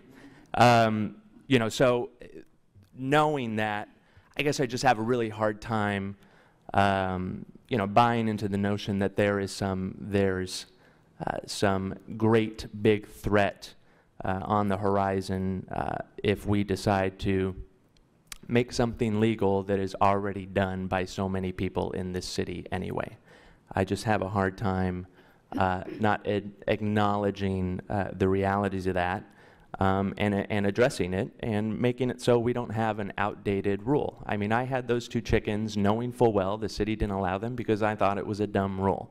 Um, and I know other folks have probably uh, reached that conclusion and may have chickens or have decided to be far more honorable, law abiding citizens uh, than I was and have held off in having chickens, but hope that we might take action tonight to uh, make that possible for them. But uh, I just don't see the I just don't see, uh, I don't see the threat. Um, you know, and I, I think um, uh, Councilmember Weir and Councilmember Freeman talked a little bit ab- uh, about the process, and I heard members of the public um, talk about the, pro- uh, the process to date and uh, you know, the, the need to ensure we have public input and public participation in the wake of COVID-19. But I will tell you um, that in my seven years on the council, few things have ever been as controversial uh, as uh, backyard hens, and few things ever really generate the type of interest we've we've gotten. I mean, uh, this is not an, an issue uh, we have deliberated uh, in a silo. We have heard quite a bit uh, from the community, um, and you know, I, I'd argue we take actions. We'll take other actions on the agenda tonight that no one will comment on, and that lack of comment should not uh, doesn't doesn't uh, doesn't compel me to not take action. I mean, we voted on a 600 million dollar city budget in the middle of the COVID-19 pandemic, and received significantly less comments than we we've received this evening uh, on backyard hens. Uh, and I'd argue that 600 million dollar budget had far-reaching implications for the 85,000 um, residences that have been that have been cited. So. I don't think I'm making a, a pressured decision. I don't think um, I'm being forced to make uh, a hasty decision. I think this is uh, the direction we should go in. Um, I'll indulge, you know, the rest of the council on, on the direction they want to go. And I understand one last point, um, you know, that we're, we're looking to maybe try and be consistent with the county of Kern on the number of hens, and I get that. Um, I do have uh, some hesitations on the on the maximum number of hens we have currently, uh, at least in the language in front of us, of, of 12 hens, e even in, in that small lot size. I do wonder whether uh, you know we'd be interested in in maybe paring that down. It looks like Stockton had a limit of four uh, per household, I think, uh, and I believe there's a similar trend in other places as well. So. Um, this is a consistent position with what I said at the last council meeting when we talked about this. I haven't changed my mind, and I am uh, ready to take a vote and move on to the next big thing. Thank you. Thank you, Councilmember Rivera. Councilmember Sullivan. Thank you, Mayor. well, I was one of the ones on the council nine years ago when this came up. And I'm really glad it didn't pass then, because it had gotten so complicated.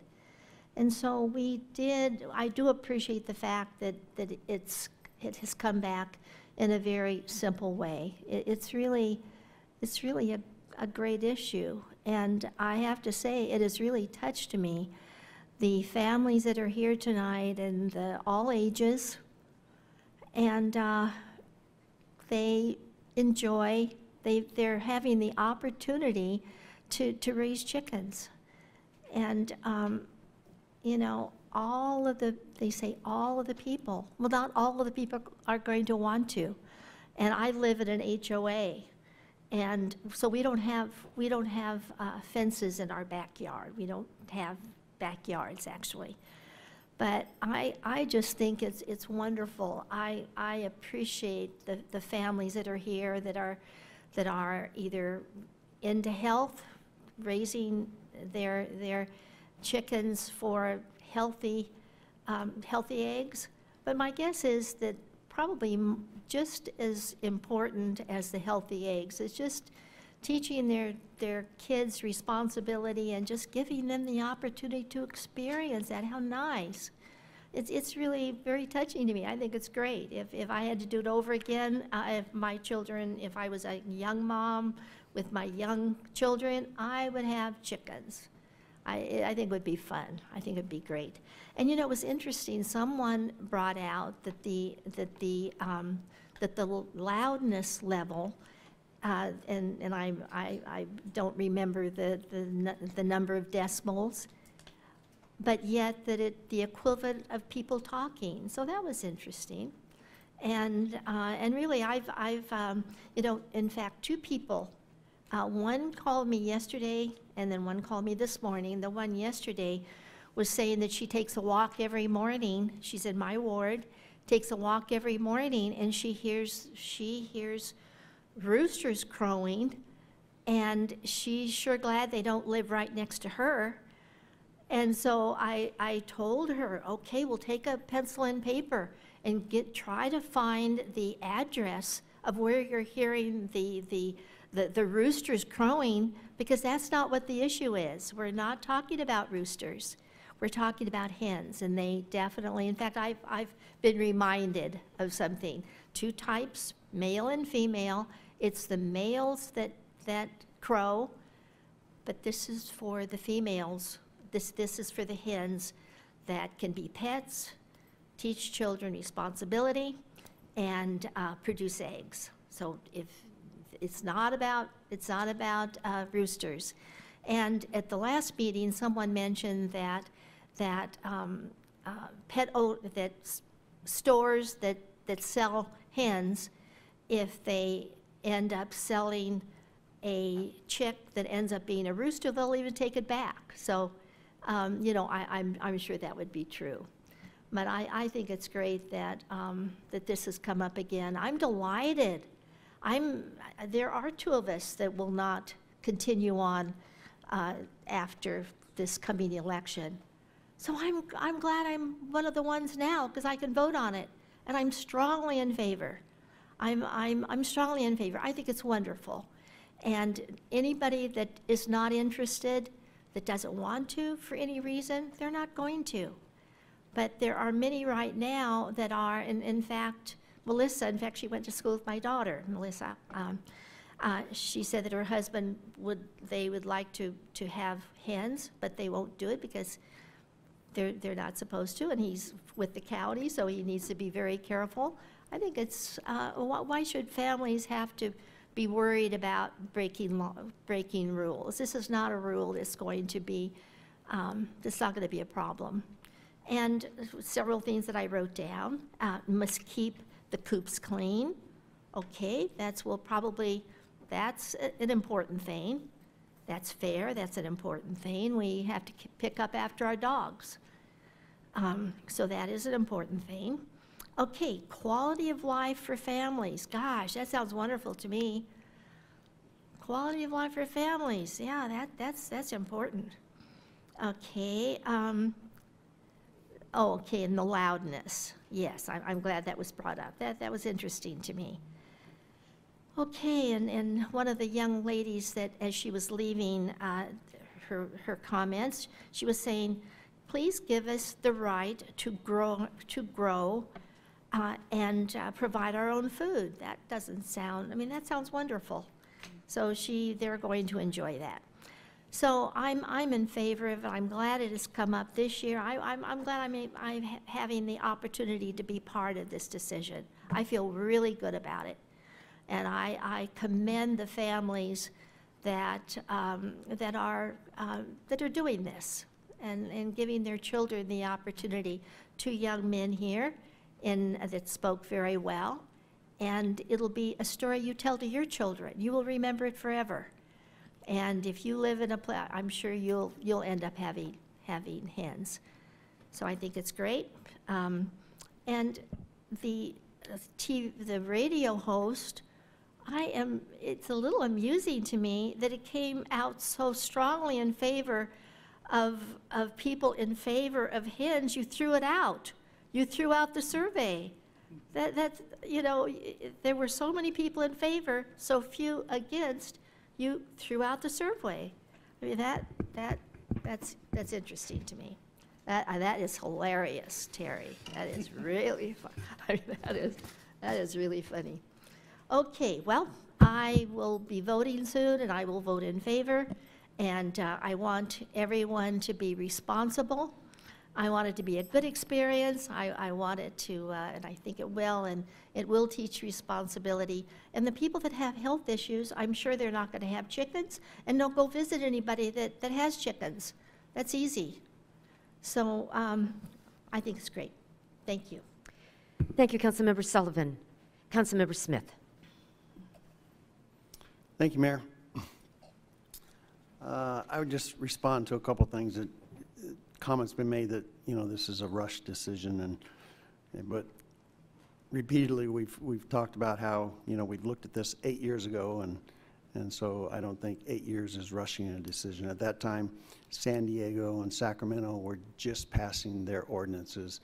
And those are, you know, cities that we followed up with now and, and they've had them for eight years and, and they are not seeing problems and they both definitely are not experiencing depreciation of real estate. We have the most affordable real estate in the state. Maybe that's because we don't allow hens yet. I don't know. Probably not. I do think uh, we are a family-friendly community, and this is a great family activity, teaches responsibility to children, um, which we all want. And I don't like the idea of building a society around the irresponsible people. We, you know, we are a free society, and I believe in building society around responsible citizens and freedom. So I am for the ordinance. I, I personally like the option number two. I, you know, looking at the, the smaller lots with option one, there, there was very little space to locate the pins. And so I, and, you know, small lots, maybe, you know, four hands makes more sense, but we give them more of an option. So I will make the motion for option number two. And that is my thoughts. Thank you. Thank you, Councilmember Smith. Vice Mayor.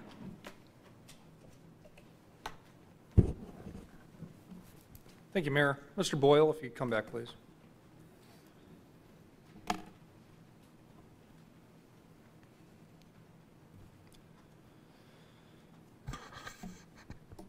Can you just give me a little background, since you oversee the Code Enforcement Department, um, kind of the duties and responsibilities, and I believe you're down three positions uh, because of budget freezing, and uh, is that unit impacted currently due to its responsibilities? Uh, Mayor Goh, uh, Vice Mayor Parlier, uh, the Code Enforcement Division currently is down three bodies. So essentially, there are seven employees within the Code Enforcement Division. And if you do the math, the Code Enforcement Division, therefore, then each of those individuals roughly manages an area of about 22 square miles and is responsible for about 55,000 citizens in the city. Those same seven individuals, um, right now, obviously have a backlog of cases that they have to respond to. Um, About a 10-day backlog on just citizen complaints that come through the various hotlines and the like. And at the same time, we, we actively are engaged in, in meeting the, the uh, requests of the council through its council referral system. And um, we work really hard through the city manager in meeting all of those needs. In, so I would say right now that the, the department of seven, which are all general funded positions, which is why we have a hiring freeze on those particular positions, um, are stressed within, within their daily workloads, yes. So you said there, currently there's, well, past statistics, there's been 10 uh, complaints per year. Let's say that goes to 100, because as an institution, I know people have them in their backyard, and some folks have them in their backyard, but as a government institution saying that, you know, we condone this activity, and so there may be an increase in complaints. So let's say they're 50 or they're 100, or it exponentially grows through the next few years. Uh, How are you going to be able to enforce that at your current position level? Mindful that uh, the city manager or the council asks code enforcement to prioritize that, I would, I would respond in this, in this way. Because there has been some dialogue on the part of Development Services as to how we might respond to that. Um, And this is what I would say. First, the Code Enforcement Division, um, when you look at the, the two positions that we have here tonight, um, there's a group of individuals who are responsible, upstanding citizens and have a certainty that they're going to um, uphold the laws and install the proper coops and maintain those coops in a certain way and the like. And um, there are also, as some people have noted, um, irresponsible individuals, and the Code Enforcement Division typically is uh, versed in dealing with irresponsible individuals. And the question has been all along, well, how, how many of those individuals are going to fall into that irresponsible category? And that's a difficult one because when you look at the ordinance in its present form, and I'm speaking only from dialogue from a staff level, there, there isn't any required permit because of the council's desire for a permissive ordinance. So there's no way for staff to actually go out onto a site and confirm that those requirements that are there are in place uh, uh, purposefully, because that's the purpose of the ordinance as, as designed by council. So when staff is going to be called into the field is when there are problems, and there may be more problems because there isn't any really real review in place out in advance of any allowance.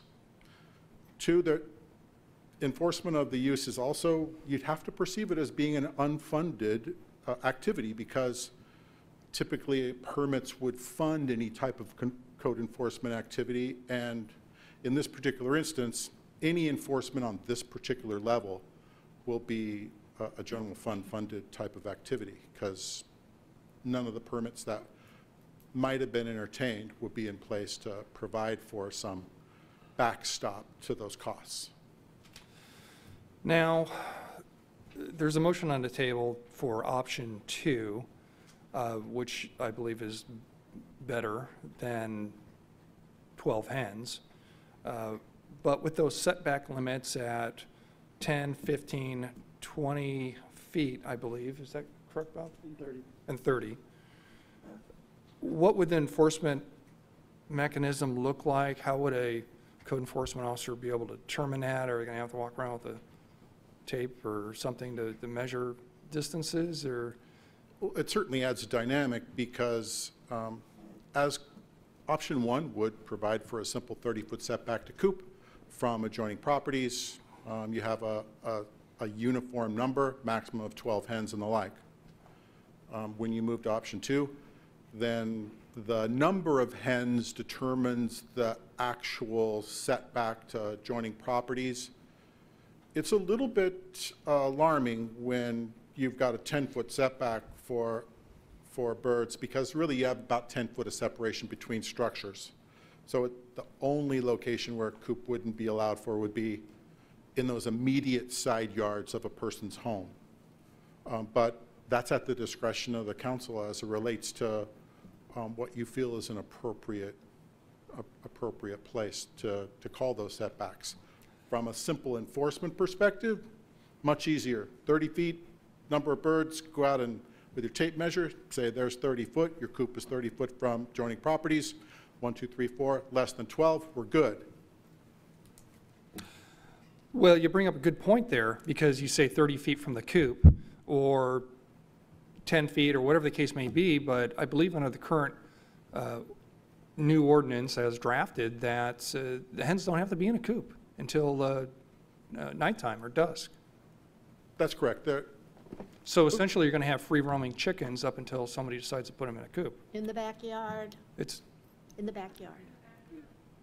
yeah, yeah, you're going to have free-ranging chickens in people's backyards i- until somebody puts them in a coop. Yeah, nighttime hours, the requirement per the ordinance would be at nighttime hours, chickens would be, re- hens would be required to be uh, kept in their coop. Yes, sir. Now, when we looked at other city ordinances, were they required to be kept in a hen house? Or did they allow free ranging in people's backyards? Um, There's a wide range there. Um, I think you'd probably looking at about uh, 50/50 there in terms of um, the, the degree of restrictions there. Um, You know, uh, thinking back to our workshop in August, you have a, a a wide scope in terms of minimum lot sizes as being one measure to, uh, to police where hens are allowed for, and the other side would be setbacks. And the 30-foot is the smallest degree of setback that's there um, per, per the 10 comparables we used. Um, There are, some cities required permits, some did not. Um, Some, some require hens to be essentially retained in coops. Others are very comfortable with rear yard, um, free range per se, rear yard free ranging per se. It's really at the, each of those councils have to come to a decision where that, where that comfort zone is that provides compatibility with the use and, and its surrounding neighbors. Okay, well, let's say some of those folks, besides the good folks that are here tonight and seem like responsible people, uh, don't lock their hens up at night, and it becomes a- an issue because they're, you know, if Mr. Smith's motion doesn't pass, that you have uh, 12 chickens running around, um, there would probably be some added code enforcement complaints. I would guess that there would be code enforcement complaints. One of the reasons why, in my research uh, leading up to your workshop, that hens were kept in coops at night is because hens like to, to roost.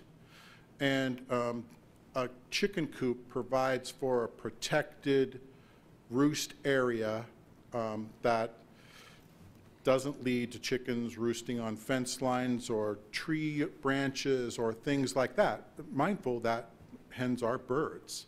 And so there's a, there's a rationale why chickens are, are kept in, in coops in the evening hours, because it's a comfort zone for them, they feel protected, as long as there's no incursion of uh, vermin and things like that, whether that's skunks or rats or what have you, that's a safe, secure location for hens to call home.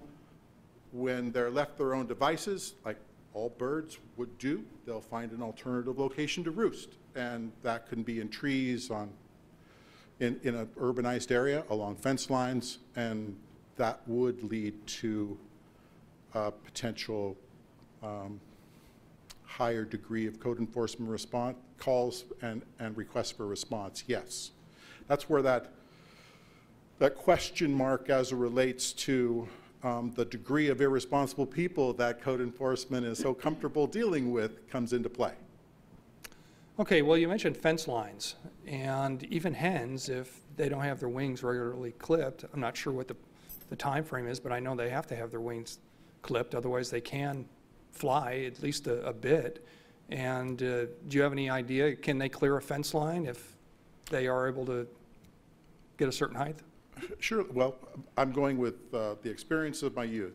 And uh, my chickens, if I didn't maintain my chickens, they, they could uh, get some air and uh, could clear a six-foot fence without trying too hard. I- I think that that's a, that's a fair statement that if one doesn't maintain and clip, clip wings, that hens are going to be mobile. Thank you, Mr. Boyle. Thank you. Thank you. Thank you. Um, Madam City Attorney, there was, kind of got different information from different folks. Uh, Some, that- some said they want to keep them as pets, some said they want to keep them as food. Uh, Is that allowed? Can people eat their chickens if they raise them here? Mayor, Councilmember Parlier, under the ordinance is currently drafted, you may only slaughter hens in the M3 zone. So they would not be allowed to slaughter their hens in any of the R zones. Okay. Yeah, I understand, but there was direct comments, uh, Councilmember Sullivan, regarding people eating hens. Mr. City Manager, CBAC, our animal control facility, what's their policy receiving uh, hens when they're on the loose? Or collecting hens, or, Uh, Honorable Mayor and Council Vice Mayor, uh, my, my understanding from staff is that uh, CBAC, uh, it's not part of their scope of services currently um, to, um, to have a program for, you know, receiving surrendered hens. thank you. Well, listening to my colleagues, it sounds like, um, speaking in the minority, uh, but I think we're being extremely short-sighted. I understand council members are council members up until they leave the dais, but I think on something as important as this, as Councilmember Freeman stated, changing an ordinance, it's going to affect potentially 85,000 residents, that the courtesy would be allowed for those folks to make that decision. I think we are opening ourselves to problems, and if it does pass tonight, I would say that in a couple of years, we may be be back here talking about this topic again, but not approving, but retracting this ordinance. I think it should go through the proper process of uh, of zoning and being vetted properly there, and then coming back. I would like to make a motion that I think is going to fail, but that we table this issue and/or it goes through the proper procedures. Thank you, Mayor. Thank you, Vice Mayor. Councilmember Sullivan. Okay. Well, it's possible that some of those 10 complaints were a matter of, my neighbor has hens and I don't think they're supposed to have hens, or chickens, or hearing roosters. So, you know, to be, and how long, you've been, you're a little short-staffed, and how long has that been? A while, right? That's okay, you can just shake your head. Okay, it's been a while. And, and, and, you know, we've all survived, and I would not, um, hold on. Excuse me. I, I would not, you know, this is for people. This is giving people the opportunity to do something. The people that don't want to do it, they don't have to do it. Um, they, they will not have hens um, for, for whatever reason. Too much work, rather buy them. Um, all of those reasons are good, valid reasons. But this is giving people the, that want to have hens, uh, able to have hens. So I'm not too concerned about it being a few more telephone calls for code enforcement. I mean, that, that, that might happen. Um, But it might also, it might also eliminate um, some of the calls when the, the people, you know, when, when a person realizes that it's okay for them to have hens. So I, I just think it's wonderful, and, and um, I'm, I'm very strongly in favor. I, I'm delighted that it's coming up again now. Uh, While I'm still on the council, I can, I can, I can uh, help, s- I can support this and help this to be possible for families in Bakersfield. Thank you. Thank you, Councilmember Sullivan. Vice Mayor. Thank you. I'd just like to add that we've gotten along with reduced code enforcement officers. Well, getting along and being effective are two different things. And I tell you what, in my area, and I know some other councilmen uh, that are on this dais too, could use the whole code enforcement department just within their ward and uh, still be plenty busy. So putting extra burdens on city staff, I don't think are necessary at this point. Thank you. Thank you, Vice Mayor. Councilmember Smith. Thank you, Mayor. The, the conversation about code enforcement is theoretical, and, but there are, there is data from cities up and down the state, and we called them, and the proponents emailed others, and they all stated, it's not a problem. Not that many people really get the chickens in the first place, and the ones that do are responsible. So, you know, what ifs are not what is. Thank you. Thank you, Councilmember Smith. Councilmember Rivera. This, this could go on for a long time, but I, I want to hone in on this code enforcement thing because I'm kind of confused. What does the staffing in our code enforcement department have to do with the number of complaint calls we get? I mean, I don't understand, I'm not sure I understand the nexus. Are we not, are we not answering the phone because we have less staff? Uh, If I may, uh, Mayor and, and council, uh, council member, I, I think the question is about our ability to, to respond out to the field and address, you know, the timeliness in which we can address uh, requests. But no, we, we are absolutely answering phones and we're receiving those complaints. Um, And um, uh, it may be a little bit out of context, but I would say that our, our code enforcement team, I think Mr. Boyle has uh, been diplomatic, but we are uh, stressed on code enforcement, but I don't think it's unique to this issue. I think it's uh, relative to many issues. Uh, So I just wanted to take that opportunity to, to reflect that. Um, It may be an area for council consideration on, on broader issues for code enforcement, but I don't think it's unique to this issue. Thank you. I, I would completely agree. Um, and if I were Mr. Boyle, I'd be taking this down and coming back next budget cycle when I'm not here anyway, so it doesn't matter, and getting those positions funded because I imagine you're going to have a whole lot more issues to deal with uh, in responding to complaints that has nothing to do with chickens that I think we should equip you better for. So, thank you. Thank you, Councilmember Rivera. Councilmember Gonzales. Yeah, thank you. I wanted to also piggyback on this code enforcement issue, um, because I don't, I don't understand the nexus either. I, I, the, the, the issue related to code enforcement capacity ought to be addressed at the next budget cycle. And, and we ought to increase the, the staffing, the complement of our code enforcement department. Uh, we have four unfilled positions. I'm interested in hearing what our strategy is to fill those. Uh, you know, but adding capacity seems like the solution to this. And we, yes, we have lots of code enforcement issues. I have lots of code enforcement issues in Ward Two uh, that we have to address. I, I don't, I don't see how that is related to this, or that's not a, a legitimate enough reason for, for me to, um, to hold off on this particular policy change. Thank you, Councilmember Gonzales. Vice Mayor. Thank you. Mr. Boyle, your normal staff code enforcement, if they walked in a backyard, can they tell the difference between a hen and a rooster? Just by looking at them? If they're not making any noise?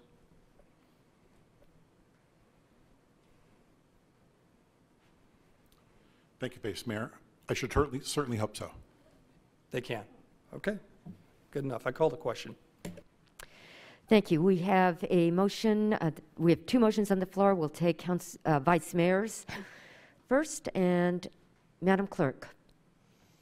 Just for clarification, that is a motion to table the topic.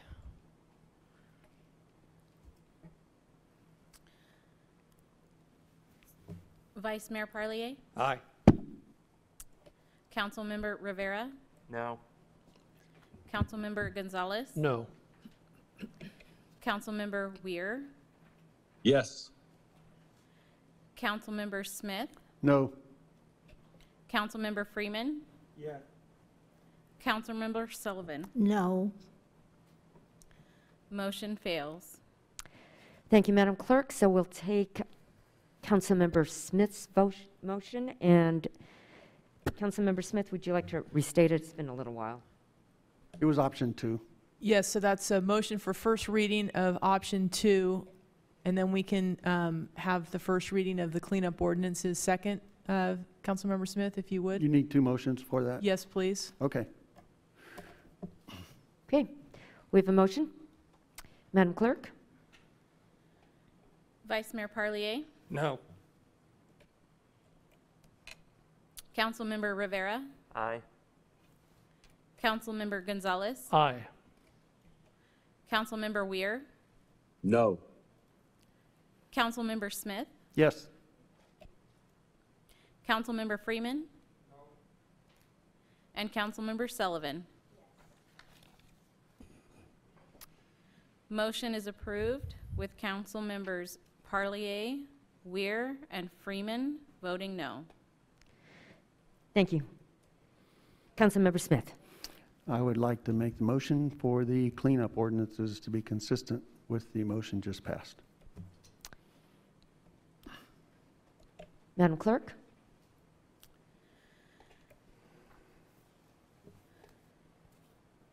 Vice Mayor Parlier, No. Councilmember Rivera, Aye. Councilmember Gonzales, Aye. Councilmember Weir,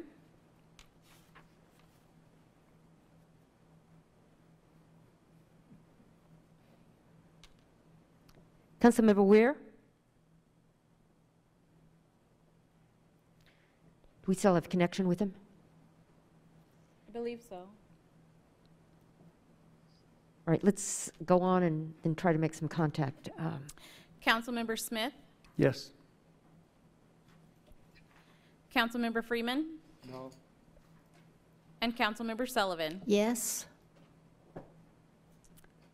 Motion is approved with Councilmember. Council, let's make sure, Councilmember Weir, that we don't have a technical Three, difficulty. three. I need Councilmember Weir to chime in, or the mayor will cast the tie vote. What, okay, what are we voting on? I, I can't barely hear you, so. Okay, go tell me ahead where we're and, at. go ahead and, The vote was on the cleanup ordinances to be consistent with the ordinance just passed. In what? No. No, did you get it? yes, thank you, Councilmember Weir. Hello? Uh, Yes, Councilmember Weir, we heard you. He might not be able to hear us now. Uh, Okay. I can hear you. Okay, very good. Uh, Madam Clerk? uh, I can hear you. Yes, very good. Madam Clerk, uh, please go ahead and read the results, or continue. Did we go all the way down? Yes, Mayor. Yes, we did, so go ahead. Motion is approved with council members Parlier, Weir, and Freeman voting no. Thank you. And that ends that section. Uh, Let's take a five-minute break before we finish. We have a, we still have quite a few items to go. Dewar's, uh, we'd like Dewar's delivered. I know we're having way too much fun, but let's reconvene. Madam Clerk, next item, please. Under appointments, seven regular appointments to the Bakersfield Youth Commission exist due to current vacancies for wards one, three, four, five, six, seven, and mayor's appointment, and eight alternate appointments exist due to current vacancies for all wards and mayor's appointments. Thank you, Madam Clerk. These appointments are by ward, therefore no ballots are required. I'm going to make the mayor's nomination, then I'm going to call on council, and per the recommendation of our city attorney, we'll first just do the regular nominations, and then we will take a vote, and then we'll do alternates in case somebody wants to. So it's my pleasure to nominate Sam Baldovinos, who was here earlier and led us in the pledge. Sam served as my alternate this past year, and now as a senior, I'm pleased to nominate him.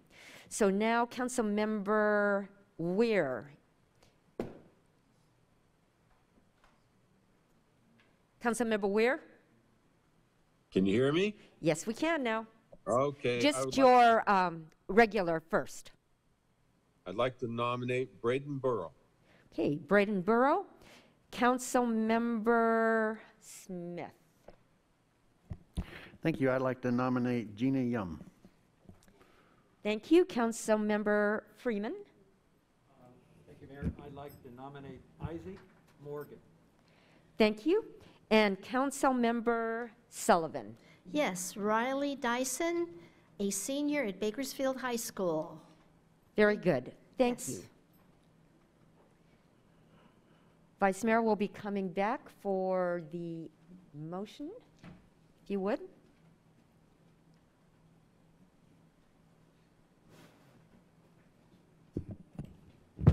Yeah, I approve my nominee, and I'd like to make a motion.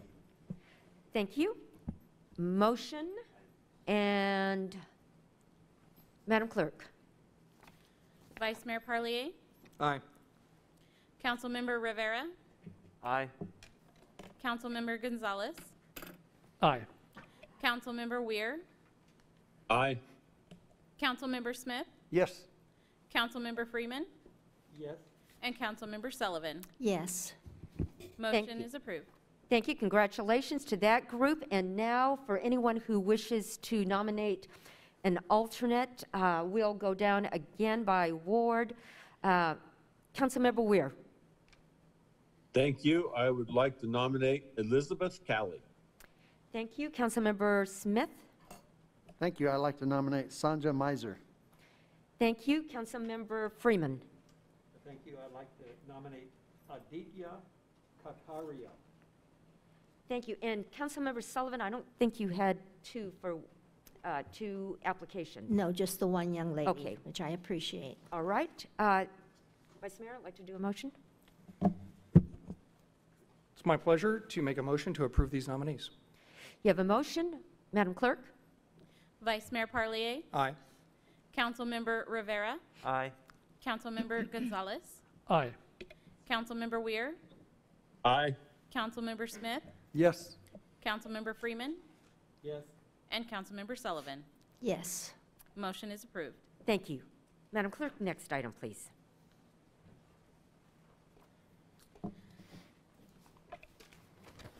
Under consent calendar, items 8A through 8V for approval. Thank you. Vice Mayor?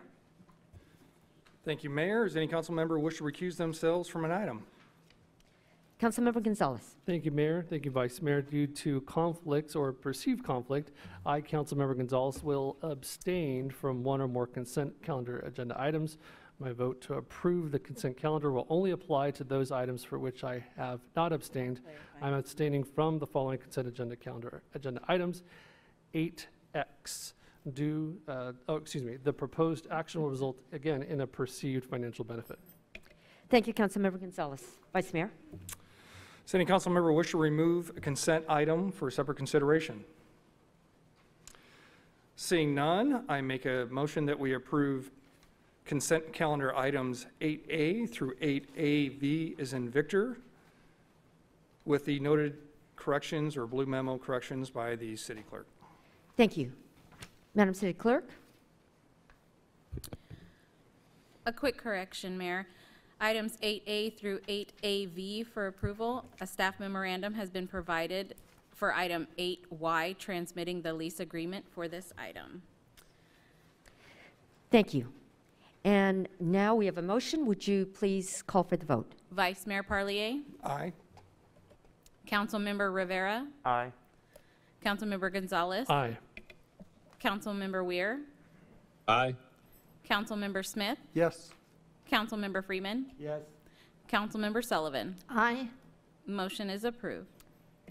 Thank you. Next item, please.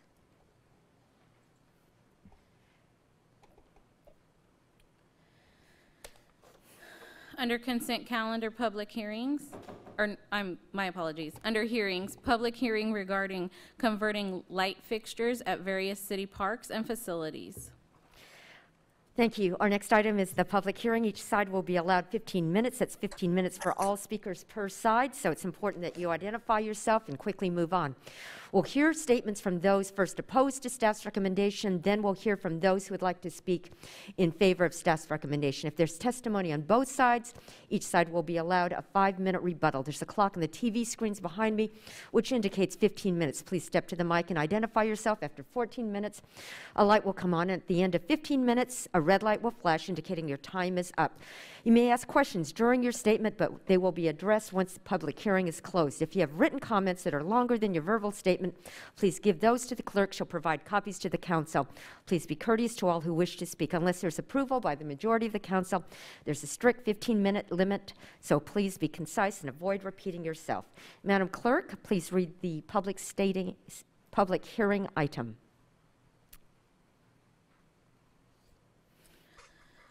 Public hearing item one, a resolution to dispense with formal bidding procedures.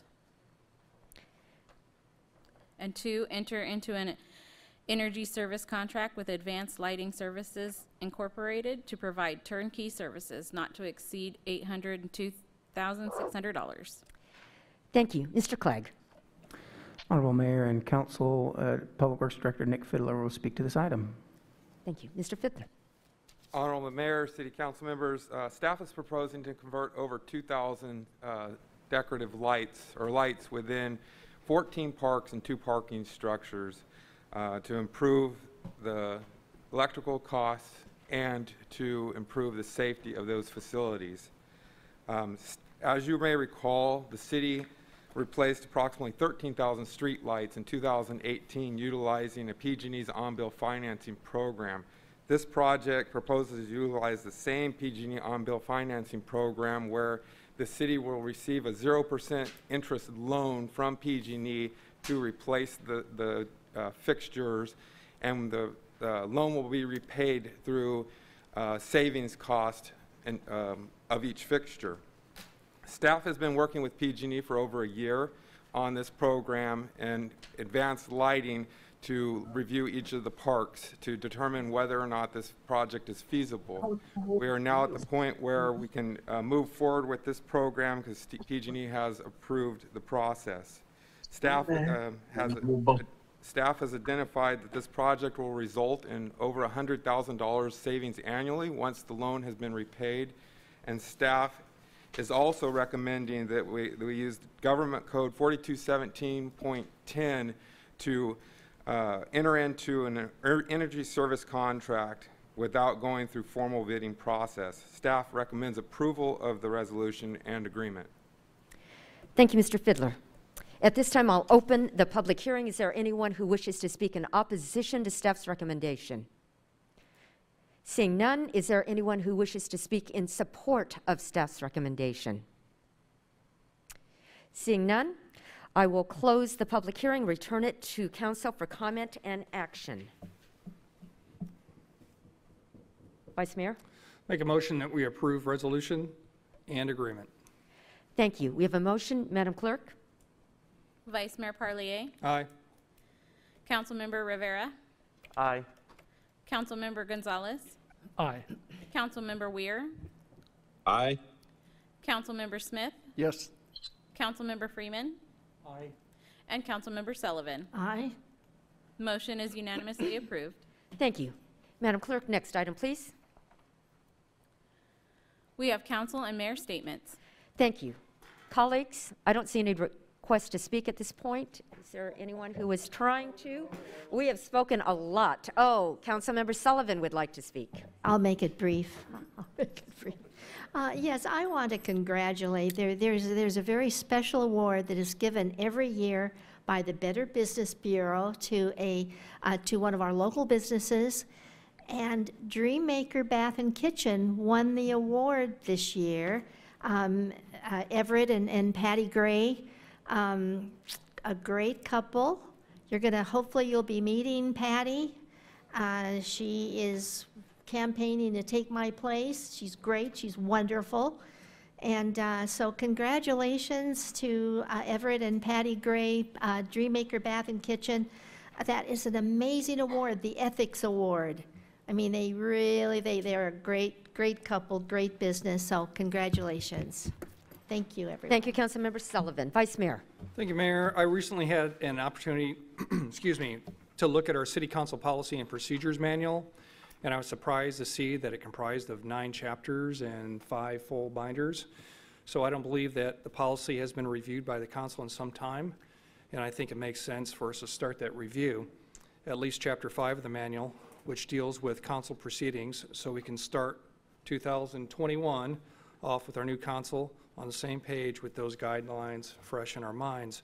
So I'd make a referral to the city attorney to come back to us, October meeting, uh, to present that chapter uh, to the council in a workshop setting, and uh, with some suggestions or modifications that are necessary. Thank you. Thank you, Vice Mayor. Anyone else wishing to speak? Well, seeing none, we have the pleasure of adjourning our meeting at 8:26.